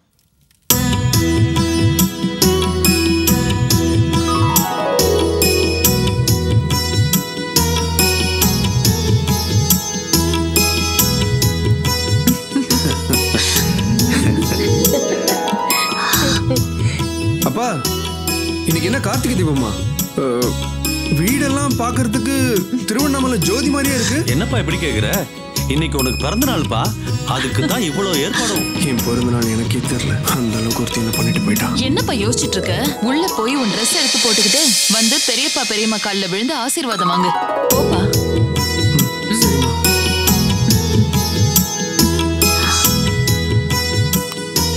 சிவாக்கு என்னங்க ஆச்சு? ஒரு மாதிரியா போறான் அதை நீயே கேளு. நேத்து இதை கேட்டதுக்கு தான் உங்க கண்ணெல்லாம் கொண்டு போய் டாக்டர்கிட்ட காமிங்கன்னா இன்னைக்கு கேட்டுன்னு வையு டாக்டரை கையோட கூட்டு வந்துருவான் எனக்கு எதுக்குப்பா வம்பு? அட.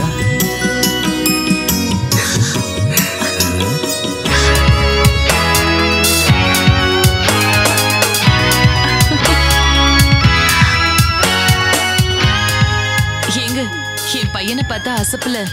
சூப்பர் ஸ்டார் ரஜினிகாந்த் மாதிரி இல்ல? அடி கூறு கட்டவள ரஜினிகாந்த் கருப்புடி என் பையன் செவ செவன் கமலஹாசன் மாதிரி இருக்கான் பாரு. எனக்கு எப்படி தெரியறான் தெரியுமா? எல்லாருக்கும் பிடிச்ச ஹீரோ இளைய தளபதி விஜய் மாதிரியே இருக்காங்க புள்ள. உங்களுக்கு அப்படின்னா எனக்கு அனைவருக்கும் பிடிச்ச அஜித் மாதிரியே இருக்கான் என் பையன். எல்லாரும் என்ன ஆசீர்வாதம் பண்ணுங்க. நல்லா நீ நல்லா இருக்க செல்லம். மகாராசனா இருப்பா. நீங்கெல்லாம் நான் நூறு வருஷம் வாழணும்னு வாழ்த்துறீங்க. ஆனா நான் என்னைக்கு சாக போறேன்னு எனக்கே தெரியலையே. நீங்க நினைக்கிற மாதிரி உங்க கனவுலையாவது நான் நூறு வருஷம் வாழ்றேன்.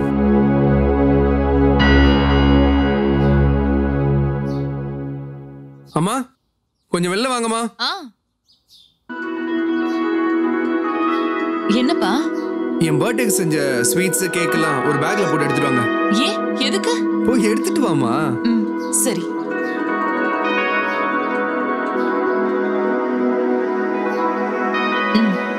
இந்தப்பா. ஏன்பா இது எல்லாத்தையும் எடுத்துட்டு போறியே? இங்க யாராவது வந்தா இதை கொடுக்கலாம்ல? அம்மா யாருக்காவது கொடுத்துடலாங்கிறத விட யாருமே இல்லாத அனாதைகளுக்கு கொடுக்கலாமா? இல்லைன்னா ஹாஸ்பிட்டல் இருக்கிற நிறைய அனாதை நோயாளிகளுக்கு கொடுக்கலாமா? அப்படி நாம கொடுக்கறதுனால நம்ம குடும்பத்துக்கு தானமா நல்லது நடக்கும். இப்ப ஏன் எல்லாரும் ஃபீல் பண்றீங்க? இப்ப இதை யாருக்குமே கொடுக்கணும்னு சொல்றீங்களா? அதுக்கு இல்லப்பா. இந்த விஷயம் எங்களுக்கு தோணலையே. சரிப்பா நான் அதை போய் கொடுத்துட்டு வந்துடுறேன். சரிப்பா. போயிட்டு வாப்பா.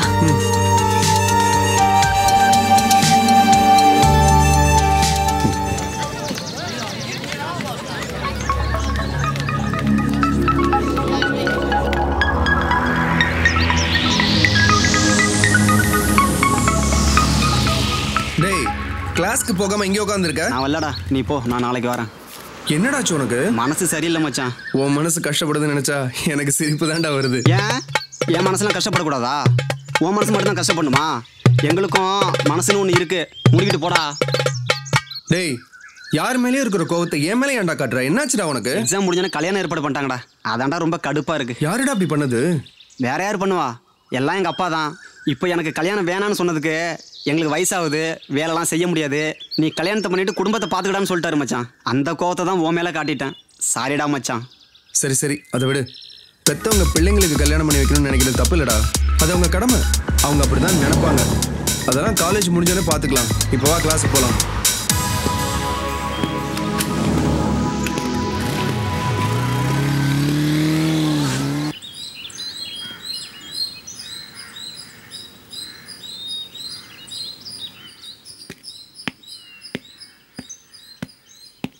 வாங்க மாஸ்டர். என்ன திடீர்னு இந்த பக்கம்? ஏதோ முக்கியமான விஷயமா? உங்களெல்லாம் பார்த்து எவ்வளவு நாள் ஆச்சா அதான் பார்த்துட்டு போலான்னு வந்தேன். வாங்க நல்லா இருக்கீங்களா? இருக்கேம்மா. காஃபி கொண்டு கொடுமா இல்ல பரவாயில்ல. ஒரு முக்கியமான விஷயம் சொல்லிட்டு போலான்னு தான் வந்தேன். என்னன்னு சொல்லுங்க மாஸ்டர். நீங்க உயிரா நினைச்சிட்டு இருக்கிற உங்க மகன் சிவாவுக்கு எய்ட்ஸ் இருக்கு. இந்த விஷயம் உங்களுக்கு தெரியக்கூடாதுங்கிறதுக்காக அவன் மனசுக்குள்ளேயே வச்சு தினம் தினம் செத்துக்கிட்டு இருக்காங்க. உண்மையா தான் நீங்க சொல்றீங்க தான் அவனுக்கு ஆறுதல் சொல்லி அவன் மனசு கஷ்டப்படாம பாத்துக்கணும் இதை சொல்லிட்டு போலான்னு தான் நான் வந்தேன். நான் கிளம்புறேன்.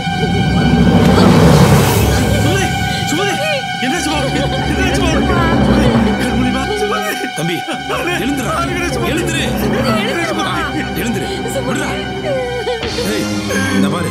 வீட்ல வயலுக்கு பூச்சி மருந்து வாங்கி வச்சிருக்கேன். அதை எடுத்துக்கிட்டு அப்படியே நாலு கிளாஸ் சேர்த்து சரிங்க. உயிரோட இருக்க வேண்டிய நம்ம பிள்ளை தினம் தினம் செத்துக்கிட்டு இருக்கான். அவன் செத்து நாம உயிரோட வாழணுமா? வேண்டாம்டா வேண்டாம். நாம எல்லாரும் சேர்ந்து செத்துடுவோம்.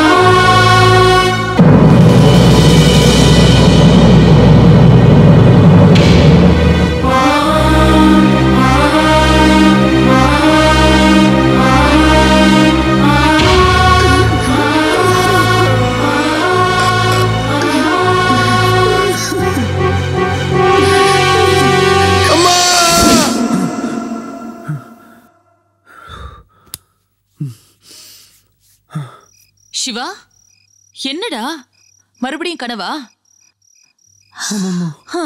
உன் கனவுல நாங்க எல்லாரும் செத்துருப்போமே. ஆமாம்மா. அது ஏன்டா உன் கனவுல மட்டும் நாங்க எல்லாரும் சாகுற மாதிரியே வருது? பாசம் அதிகமா இருந்தா அப்படிதாம்மா வரும். சரி சரி. கனவு காண்றதை நிறுத்திட்டு படுத்து தூங்கு. மணி பன்னெண்டு ஆச்சுடா. படுடா. படு. தூங்குற வேலையை பாரு.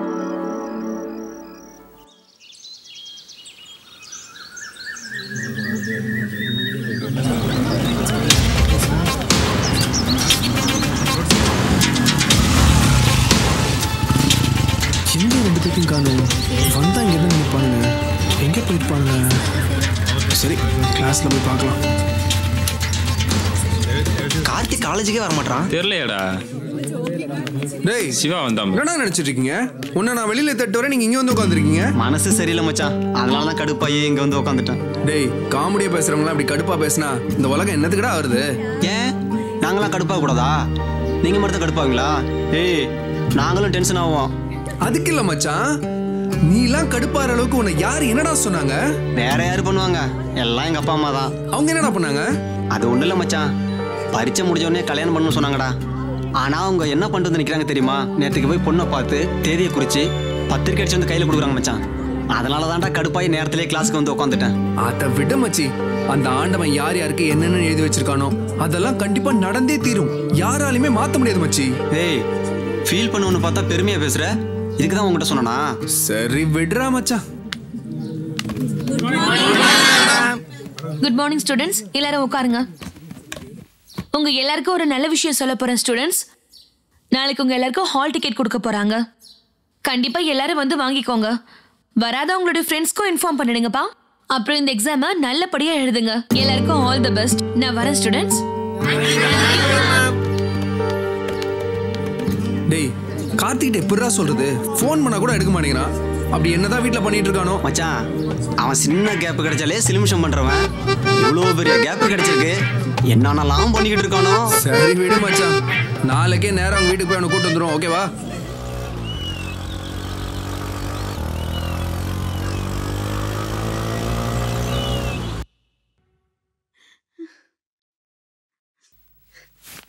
பாருங்கண்ணா. உங்க ஃப்ரெண்டு எப்படி இருக்காருன்னு. என்னங்க? எழுந்துருங்க. உங்க ஃப்ரெண்ட்ஸ் வந்திருக்காங்கங்க. என்னங்க? பாருங்க.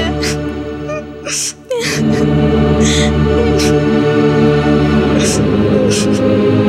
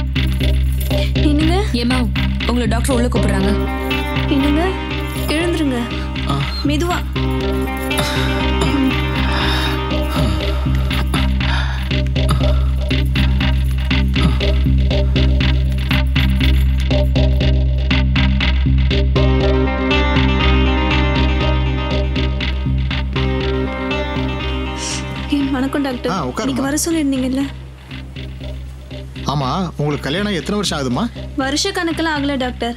ஒரு வாரம் தான் ஆகுது. சரிம்மா கேட்குறேன்னு தப்பா எடுத்துக்காதீங்க உங்களுக்குள்ள ஃபர்ஸ்ட் நைட்ல முடிஞ்சு போச்சாம்மா? என்ன டாக்டர் இப்படி கேக்குறீங்க? நாங்க உங்களை தெய்வமா நினைச்சிட்டு இருக்கோம். நீங்க போய் இப்படி கேட்கலாமா? எல்லாம் உன்னோட நல்லதுக்காக தாம்மா கேட்குறேன் சொல்லுமா அது வந்து எங்க மாமனார் தான் குலதெய்வம் கோயிலுக்கு போயிட்டு வந்ததுக்கு அப்புறம் அதெல்லாம் வச்சுக்கலாம்னு சொல்லிட்டாங்க. அதான் எதுவும் நடக்கல. நல்ல வேளை. உன்னை கடவுள் காப்பாத்திட்டாருமா ஆமாம்மா. உன்னோட புருஷனுக்கு இப்போ எய்ட்ஸ் இருக்குமா?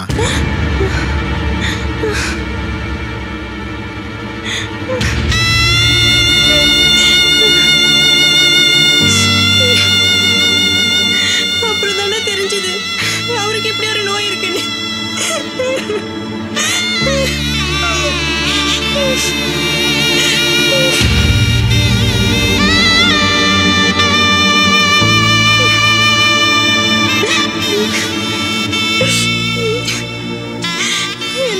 எழுதி வச்சிருக்காருண்ணா.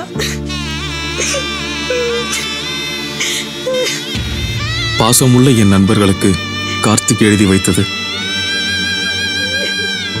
நீங்கள் சொன்ன அறிவுரையை கேட்காமல் போனதற்கு ஆண்டவன் மிக பெரும் தண்டனையை எனக்கு கொடுத்து விட்டான். அதனால் நீங்கள் யாரும் இதுபோல் தவறு செய்யக்கூடாது.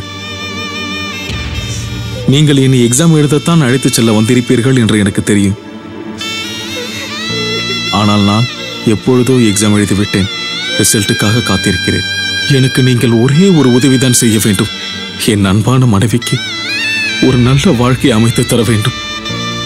உங்கள் மனதில் எப்பொழுதும் பிரியாத நட்புடன் கார்த்திக்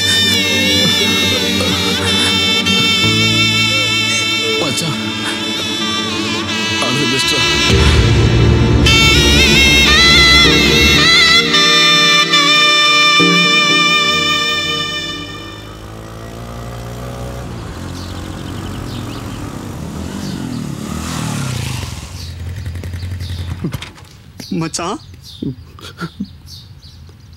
டேய் ஏன்டா இப்படி ஆயிட்டான்? நாம என்ன மச்சான் பண்ண முடியும்? அவனுக்கு இந்த சின்ன வயசுல சாவுற தேதியை குறிச்சிட்டான் கடவுள். நாம என்னடா பண்ண முடியும்? ஆறுதல் சொல்லிட்டு அழதாண்டா முடியும். வேற என்னடா பண்ண முடியும்? இல்லடா அவனை பார்க்கறதுக்கு ரொம்ப கஷ்டமா இருக்குடா. அதுக்கு தான்டா சொல்றது. பெத்தவங்க சொல்றதை கேட்காட்டினாலும் அட்லீஸ்ட் ஃப்ரெண்ட்ஸ்னு சொல்ற அட்வைஸ் ஆச்சும் கேட்கணும்டா. ஒரு ஃப்ரெண்டோட வழி ஒரு ஃப்ரெண்டுக்கு தாண்டா தெரியும். இப்போ பாரு நம்ம மனசு எப்படி கடந்து துடிக்குதுன்னு. இதாண்டா மச்சான் லைஃப் போறான்டா இப்போ என்னடா பண்றது? காலேஜுக்கு போடா. ஆல் டிகிரி கொடுக்குறாங்க. வாங்கிட்டு வீட்டுக்கு போகலாம்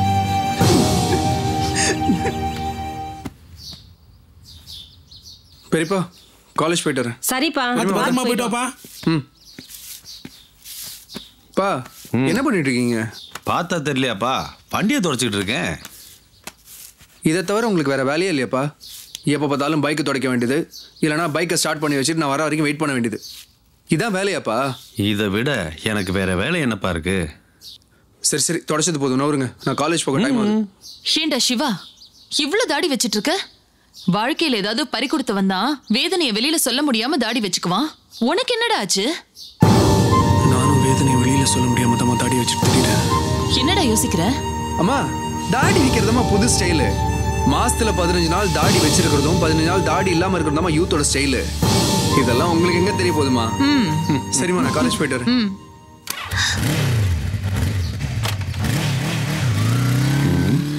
என்னங்க?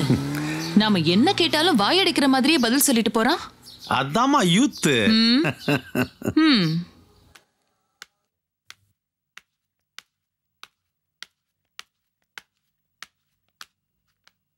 எல்லாரும் வந்துட்டீங்களா? கொஸ்டின் பேப்பர் கொடுத்துடலாமா? எல்லாரும் வந்துட்டோம் கொடுங்க சார். என்னப்பா சிவா உன் ஃப்ரெண்டு ஒருத்தனை காணா? அவனுக்கு உடம்பு சரியில்லை சார் அவன் வரமாட்டான். என்னாச்சு? நல்லா தானே இருந்தா? அவன் வரமாட்டான் சார். என்னப்பா எக்ஸாம் தெரியும்ல நீங்களா சொல்லி வர வைக்கலாம்ல? அவன் வரமாட்டான்னு சொன்னா விடுங்க சார் தேவையில்லாம ஏன் பேசுறீங்க? அவனுக்காக நீங்க எக்ஸாம் எழுத போறீங்களா? நான் எப்படிப்பா எழுத முடியும்? தெரியுதுல்ல சார் பேசாம கொஸ்டின் பேப்பர் கொடுத்துட்டு போங்க.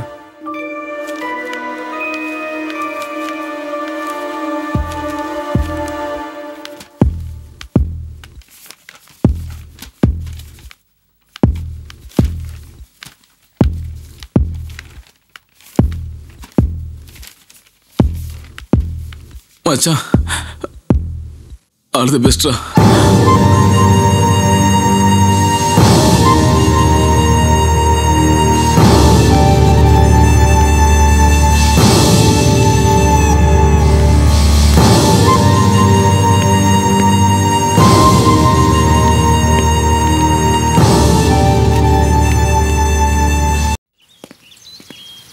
என்னடா சிவா சீக்கிரமா பேப்பரை கொடுத்துட்ட?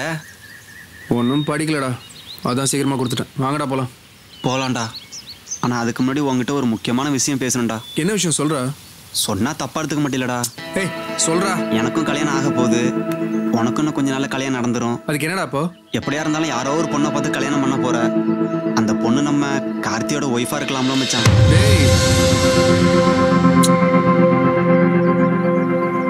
டேய். நான் ஒன்று சொன்ன கேப்பியாடா? என்னன்னு சொல்றா? நம்ம கார்த்தி எப்படிடா கூப்பிடுவோம்? மச்சான் தான்டா கூப்பிடுவான். அதுக்கு என்னடா அப்போ மச்சானோட ஒய்ஃபை நம்ம எப்படிடா கூப்பிடுவோம்? தங்கச்சி. தங்கச்சி எவனாவது போய் கல்யாணம் பண்ணுவானாடா? என்னைக்குமே ஃப்ரெண்டோட தங்கச்சியும் ஒய்ஃபையும் தப்பான எண்ணத்துல நினைச்சு பார்க்கவே கூடாதுடா. அப்படி நினைச்சா அது ஃப்ரெண்ட்ஷிப்பே இல்லடா. சரிடா மச்சான். அந்த பொண்ணுக்கு நாமளே ஒரு நல்ல பையனை பார்த்து கல்யாணம் பண்ணி வைக்கலாம். அதுவும் கார்த்திக் ஏதாவது ஒன்று ஆனதுக்கு அப்புறம் சரியா? போங்கடா போலாம். ஓகேடா.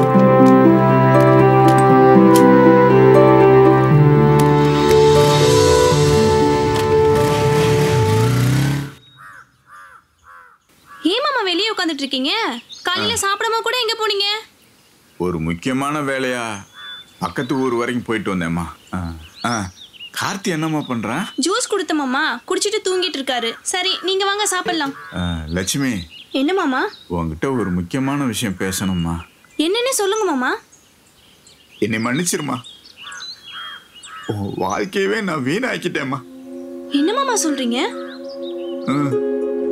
கார்த்தியை பத்தி முழுசா தெரிஞ்சிருந்த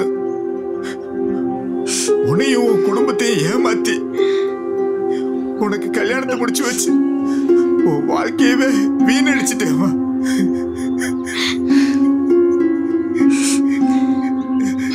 இப்ப அத பத்தி பேசி என்ன ஆக போகுது?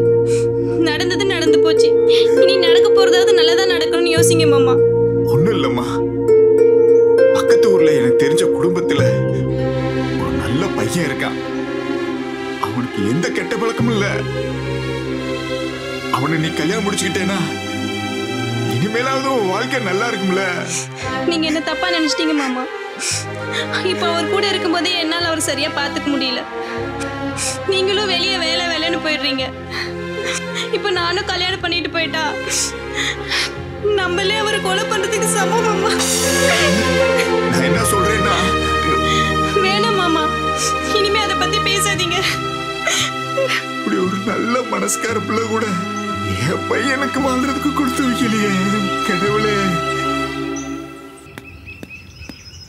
டேய் உங்களை எங்கெல்லாம் தேடுறது? இங்க என்னடா பண்றீங்க? எக்ஸாம் எழுத வரலையா? இன்னைக்கு ஒரு நாள் தாண்டா இங்க உட்கார போறோம். இனிமேவா இங்க வந்து உட்கார போறோம். என்னடா அப்படி சொல்ற? ஆமாண்டா சிவா. இன்னைக்கு நமக்கு எக்ஸாம் முடியுது. இனிமே நாம இந்த காலேஜுக்கு எப்படா வர போறோம்? நாம உட்காந்துருந்த இடம் நின்ன இடம் பேசின இடம் சிரிச்ச இடம் பொண்ணுங்க கூட சண்டை போட்ட இடம் வாத்தியாருங்களை கிண்டல் பண்ண இடம் எல்லாமே இன்னையோட முடிஞ்சு போச்சுடா. இனிமே நம்ம லைஃப்ல எப்போதுமே சந்தோஷமான நாளே இருக்காதுடா சிவா. வரப்போற நாள சந்தோஷமா எடுத்துக்கலாம்டா என்னதான் இருந்தாலும் காலேஜில் வாழ்ந்த வாழ்க்கையை மறக்க முடியுமாடா? யாராலையும் மறக்க முடியாதான் அதுக்காக நம்ம இங்கேயும் இருக்க முடியும். அடுத்தவங்க படிக்க வேணாமா? மச்சான் போன நாளே நினைச்சுக்கிட்டு வரப்போற சந்தோஷமான நாளை கஷ்டப்படுத்தி கூடாதுடா மச்சான். என்னடா பண்ற? எக்ஸாம் நேரம் போது போலாம்டா. போறதுக்கு முன்னாடி இதை வாங்கிக்கடா. என்னடா கல்யாண பத்திரிக்கை காலேஜ்ல கொடுக்குற? வீட்டில் தாண்டா வந்து கொடுக்கலாம்னு நினைச்சேன். கல்யாணத்துக்குன்னா ரெண்டு நாள் தான் இருக்கு. வீட்டை விட்டு வெளில போகக்கூடாதுன்னு சொல்லிட்டாங்கடா. அதனால தான்டா இங்கே வந்து கொடுக்குறேன். மச்சான் கண்டிப்பா ஃபேமிலியோட வந்துடணும்டா. கண்டிப்பா வந்துடுறேன்டா. நான் இல்லாம கல்யாணம் நடக்குமா என்ன? வாங்கடா எக்ஸாம் எழுதலாம். நம்ம சிவாவோட ஃப்ரெண்ட்ஸுக்கெல்லாம் கல்யாணம் ஆயிடுச்சு. நாமளும் இவனுக்கு காலா காலத்துல கல்யாணம் பண்ணி வச்சிடலாங்க. மெதுவா பேசுறி அவன் காதுல விழுந்துற போது கோவப்பட்டு வெளியே வந்துருவான். என்னங்க சுங்குய் சொல்றதுல என்ன தப்பு இருக்கு? நமக்கு இருக்கிறது ஒரே பையன். அவனுக்கு காலாகாலத்துல கல்யாணம் பண்ணி பார்க்கணுங்கிற ஆசை இருக்காதா? ஏய் சிவா வரான் மெதுவா பேசு. ஏன் பேசுனது நிறுத்திட்டு அமைதியா இருக்கீங்க? நாங்க எதுவும் பேசலையேப்பா. பெரியம்மா பொய் சொல்லாதீங்க. நீங்க எல்லாம் பேசுனது கேட்டு தான் நான் உள்ள இருந்தே வந்தேன். அது ஒண்ணு இல்லப்பா. கால காலத்துல உனக்கு ஒரு கல்யாணம் பண்ணி வச்சிடலாம்னு பேசிட்டு இருந்தோம். அவ்வளவுதான். வேற ஒண்ணு பேசலையேப்பா. மா எப்ப பார்த்தாலும் என்ன பத்தியே தான் நினைச்சிட்டு இருப்பீங்களா? உங்களை பத்தி நினைக்க மாட்டீங்களா? தம்பி கோவப்பட்டு பேசாதப்பா. கொஞ்சம் பொறுமையா பேசுப்பா. கோவப்படாம வேற என்ன பண்ண சொல்ற எனக்கு இப்ப கல்யாணம் வேணாம். என்னப்பா சிவா? இப்படி எல்லாம் சொல்ற? எங்களுக்கும் பேர குழந்தைகளை கொஞ்சணும்னு ஆசை இருக்காதா? நான் கல்யாணமே வேணான்றேன். நீங்க என்னடா பேர குழந்தை வரைக்கும் போயிட்டீங்க? சிவா இது வரைக்கும் நாங்க எல்லாரும் உன் விருப்பப்படியே தான் நடந்திருக்கோம். உன் விருப்பத்தை மீறி நாங்க எதுவும் பண்ணல. சிவா இந்த ஒரு விஷயத்தை மட்டும் எங்களுக்காக கொஞ்சம் விட்டு கொடுப்பா. உனக்கு கெஞ்சி கேட்கிறப்பா. இப்ப ஏன் எல்லாரும் சோகமா இருக்கீங்க? அதான் எல்லாம் பேசி முடிவு பண்ணிட்டீங்களே. உங்க விருப்பப்படியே பண்ணுங்க.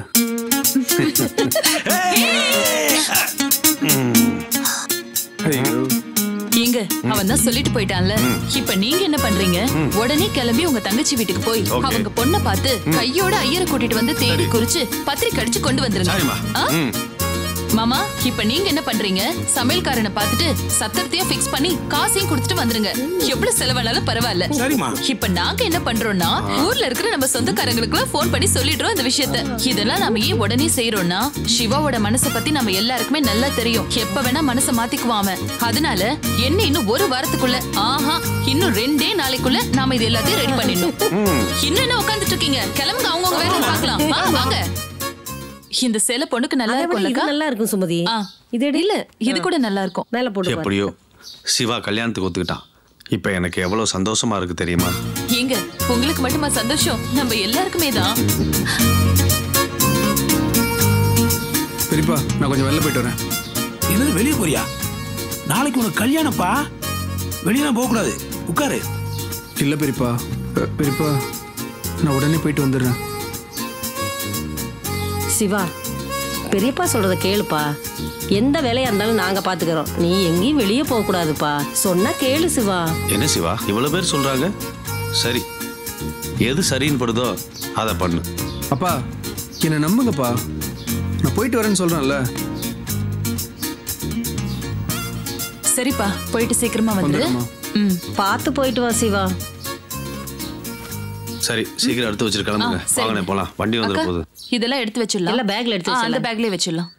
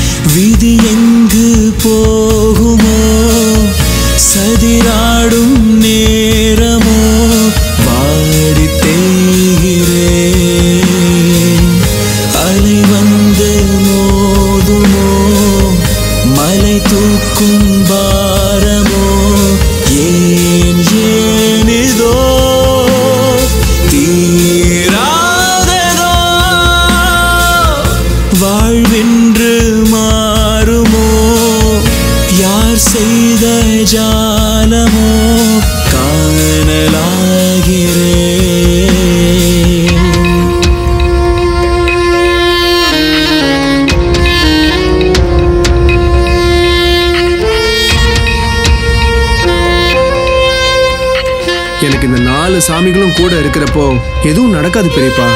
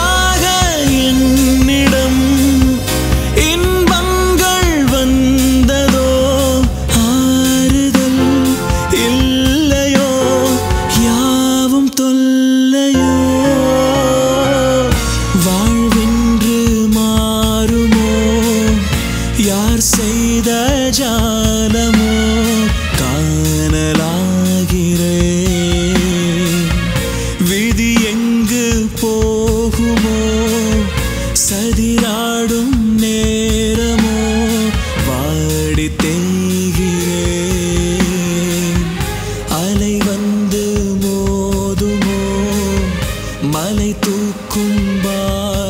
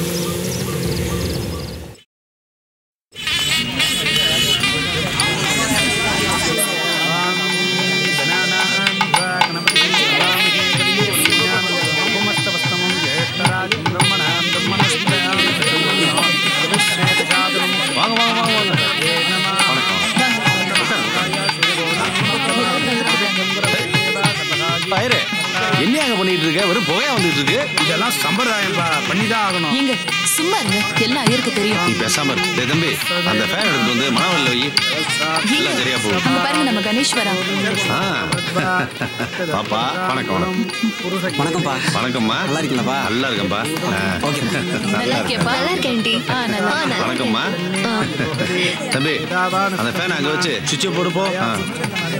இங்க பாரு இனிமே நீ என்ன வேணாலும் பண்ணிக்கோ. என் மகன் இருக்க இடத்து போக போகாது. ஏன்னா நான் ஃபேன் வச்சிருக்கேன் பேஷா பண்ணுக்கோ ஆ. என்னம்மா பிள்ளைய வளர்க்குறான் பாரு. போய் உட்காருப்பா. சிவா வெளியே போயிட்டு வரோம்னா? இன்னும் ஆளை காணோம்? முகூர்த்தத்துக்கு நேரமாச்சு? அதைத்தானே நானும் நினைச்சிட்டு இருக்கேன். என்ன பண்றதுனே தெரியல. ஒரு பக்கம் கல்யாண சந்தோஷம் ஒரு பக்கம் வேதனையா தான் இருக்கு. எங்க போனா? என்ன ஆனாலும் பாருங்க தெரியலையே. என் பிள்ளைக்கு மட்டும் ஏதாவது நாச்சு நான் உயிரோடவே இருக்க மாட்டேன். கொஞ்சம் சும்மா அவனுக்கு ஒண்ணும் ஆகாது. சுமதி அழுகிறத நிறுத்து. சிவாவுக்கு ஒண்ணும் ஆகாது. அவன் வந்துருவான். எங்க நம்ம சிவா வராங்க? என்னப்பா நீ இவ்வளவு நேரமா நீ எங்கப்பா போயிருந்த? உன்னை காணாம நாங்களாம் எவ்வளவு வேதனைப்பட்டோம் தெரியுமா? அம்மா நான் தான் எங்க போனாலும் வர வேண்டிய நேரத்துல கரெக்டா வந்து சேர்ந்துட்டேன்ல. பாத்தீங்களா இவனை? சோகமா இருக்கிறத விட்டுட்டு எல்லாரும் சந்தோஷமா இருங்க. சந்தோஷமா இருங்கன்னு சொல்றேன்ல. சரி சரி. மூர்த்த நேரம் முடியறதுக்குள்ள அந்த பொண்ணு கழுத்துல தாலியை கட்டுப்பா. போய் உட்காரு. தாலி கட்ட வேண்டிய பொண்ணு என் பக்கத்திலே இருக்கா. அதை விட்டுட்டு இந்த பொண்ணுக்கு கட்ட சொல்றீங்களே? யார் அந்த பொண்ணு? யாரு?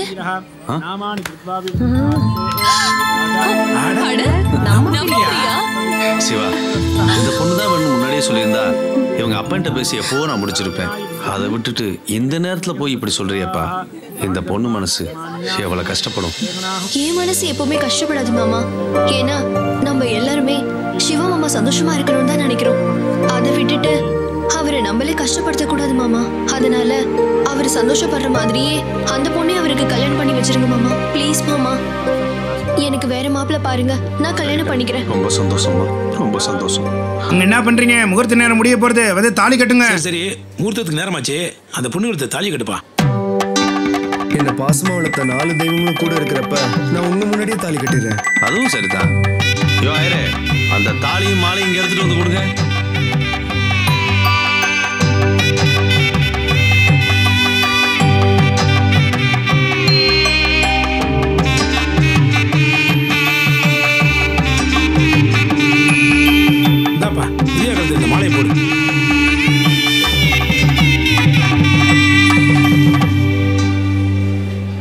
தராஜா பிரியா கழுத்துல கட்டு.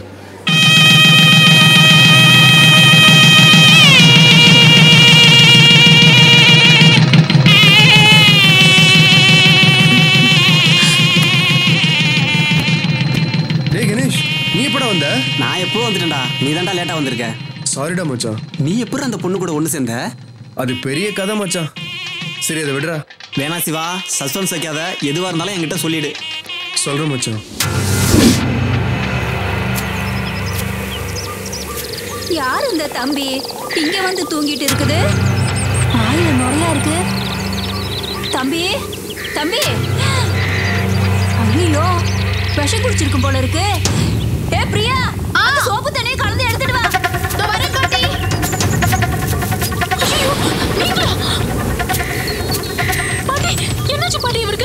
தெரியலம்மா. ஏதோ விஷத்தை குடிச்சிருக்கு போல இருக்கு. சீக்கிரம். எப்படியாவது காப்பாத்துங்க பாட்டி. இந்த தம்பி உனக்கு தெரியுமா? தெரியும் பாட்டி. இவருக்கு ஏதாவது ஒண்ணாச்சுன்னா இவங்க குடும்பத்துல யாருமே உயிரோட இருக்க மாட்டாங்க. ஐயோ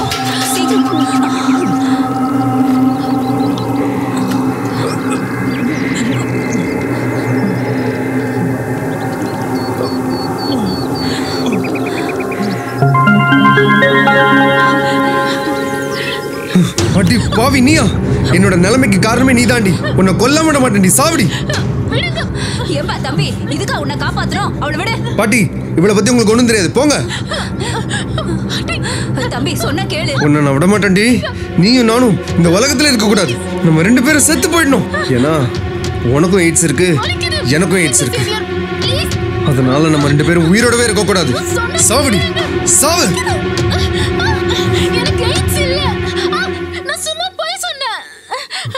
என்ன சொல்ற? எனக்கு எந்த நோயுமே இல்லை.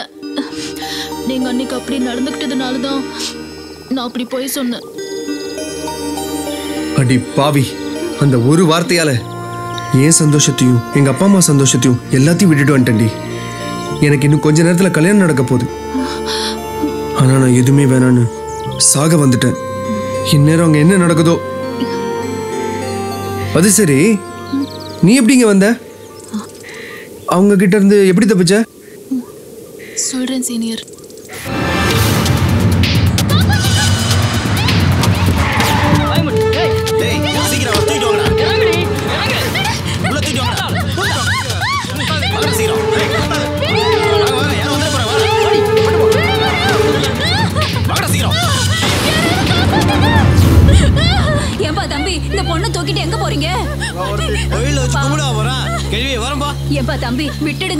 சொன்னா கேளு பாவம் அந்த பொண்ணு. ஏய் கிழவி விட்டுட்டு போறதுக்கா இவ்வளவு கஷ்டப்பட்டு தூக்கிட்டு வந்தோம் அசால்ட்டா விட்டு போடுற. பசங்க விரும்பிட்டானுங்க இனிமே விட மாட்டானுங்க. பேசாம வேலையை பார்த்துட்டு போ பாட்டி. விட முடியாது போ. அண்ணா நாலு பேர் சேர்ந்து ஒரு பொண்ணை தூக்கிட்டு போறீங்களே இது உங்களுக்கே நல்லா இருக்காண்ணா பாவண்ணா விட்டுருங்கண்ணா டேய் என்ன ஆளாளுக்கு வந்து அறிவுரை சொல்லுங்க. பேசாம போடா. இதுவே இந்த பொண்ணு இருக்கிறதுல உங்க அக்கா இல்ல உங்க அம்மா தங்கச்சி யாரோ இருந்திருந்தா உங்களுக்கு எப்படிண்ணா இருந்திருக்கும்?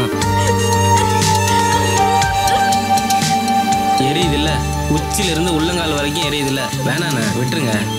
உங்களை கெஞ்சி கேட்டுக்கிறேன். ஏய் இந்த படத்துல நாங்கெல்லாம் வில்லனுங்க. நாங்க இப்படிதான் பொருள் டைரக்டர் சொல்லியிருக்காரு அதை தான் நாங்க பண்ணிட்டு இருக்கோம். அண்ணா நீங்களாவது சொல்லுங்கண்ணா. உங்களை பார்த்தா தான் அந்த கூட்டத்திலே நல்ல ஒரு மாதிரி இருக்கீங்க. சொல்லுங்கண்ணா. டேய் அந்த பொண்ணை விட்டுருங்கடா. அண்ணா என்னண்ணா விட சொல்றீங்க? இதுக்காக வேணா கார்ல இருக்க பெட்ரோல்லாம் காலி பண்ணோம் இவன் சொன்ன ஒரு வார்த்தையில ஏறின போதெல்லாம் இறங்கிடுச்சுடா. இனிமேலும் அந்த தப்பை நம்ம செய்யக்கூடாது.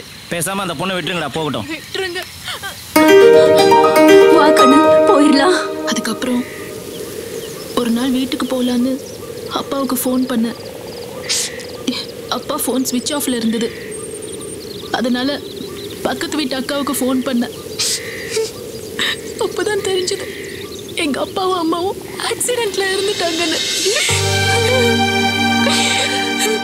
அதுக்கப்புறம் எனக்கு எங்க போறதுன்னே தெரியல. அன்னையில இருந்து ஒரு அனாதையா இந்த பாட்டியோடய தங்கிட்டேன். ஆமாப்பா ரொம்ப கஷ்டப்பட்டுட்டா. சரி சரி. அழுவாத. நான் இருக்கேன். நீ சொன்ன ஒரு வார்த்தையால நம்ம ரெண்டு பேரையும் எப்படி கஷ்டப்படுத்திட்டான் பார்த்தியா அந்த ஆண்டவன்? சாரி சீனியர் இனிமே நான் அப்படி நடந்துக்க மாட்டேன். சரி. எனக்கு இன்னும் கொஞ்ச நேரத்துல கல்யாணம். நான் கிளம்புறேன். அப்போ ஏன் வாழ்க்கை என்ன ஆகுறது எனக்கென ஏற்கனவே வழிவளோ? இதயத்தை கயிறு கட்டி இழுத்த வழிவளோ? ஒளி சிந்தும் இரு கண்கள் உயிர் வாங்கும் சிறு இதழ்கள். என்னுள்ளே என்னுள்ளே ஏதேதோ. எப்படியோ ரெண்டு பேரும் ஒன்று சேர்ந்துட்டீங்க. என் மச்சான் சந்தோஷமா இருந்தா அது எனக்கும் சந்தோஷம் தான்டா ஆல் தி பெஸ்டா சரி சரி. எல்லாம் சீக்கிரம் கிளம்புங்க. நல்ல நேரம் முடிவுக்கு முன்னாடி வீட்டுக்கு போகணும். பாப்பா. சரி சரி. எல்லாரும் இருந்து கண்டிப்பா சாப்பிட்டு தான் போகணும்.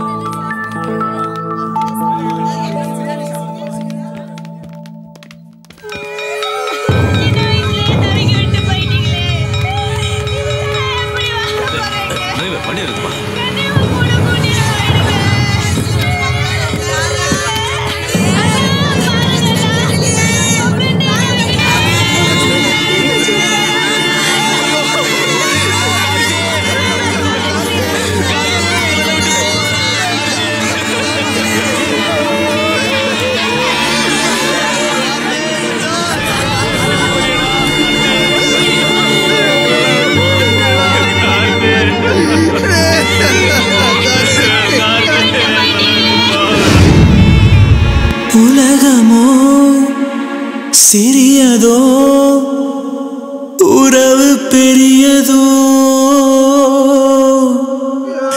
பழகி வந்த பாசம் பிரியும் தருணமோ.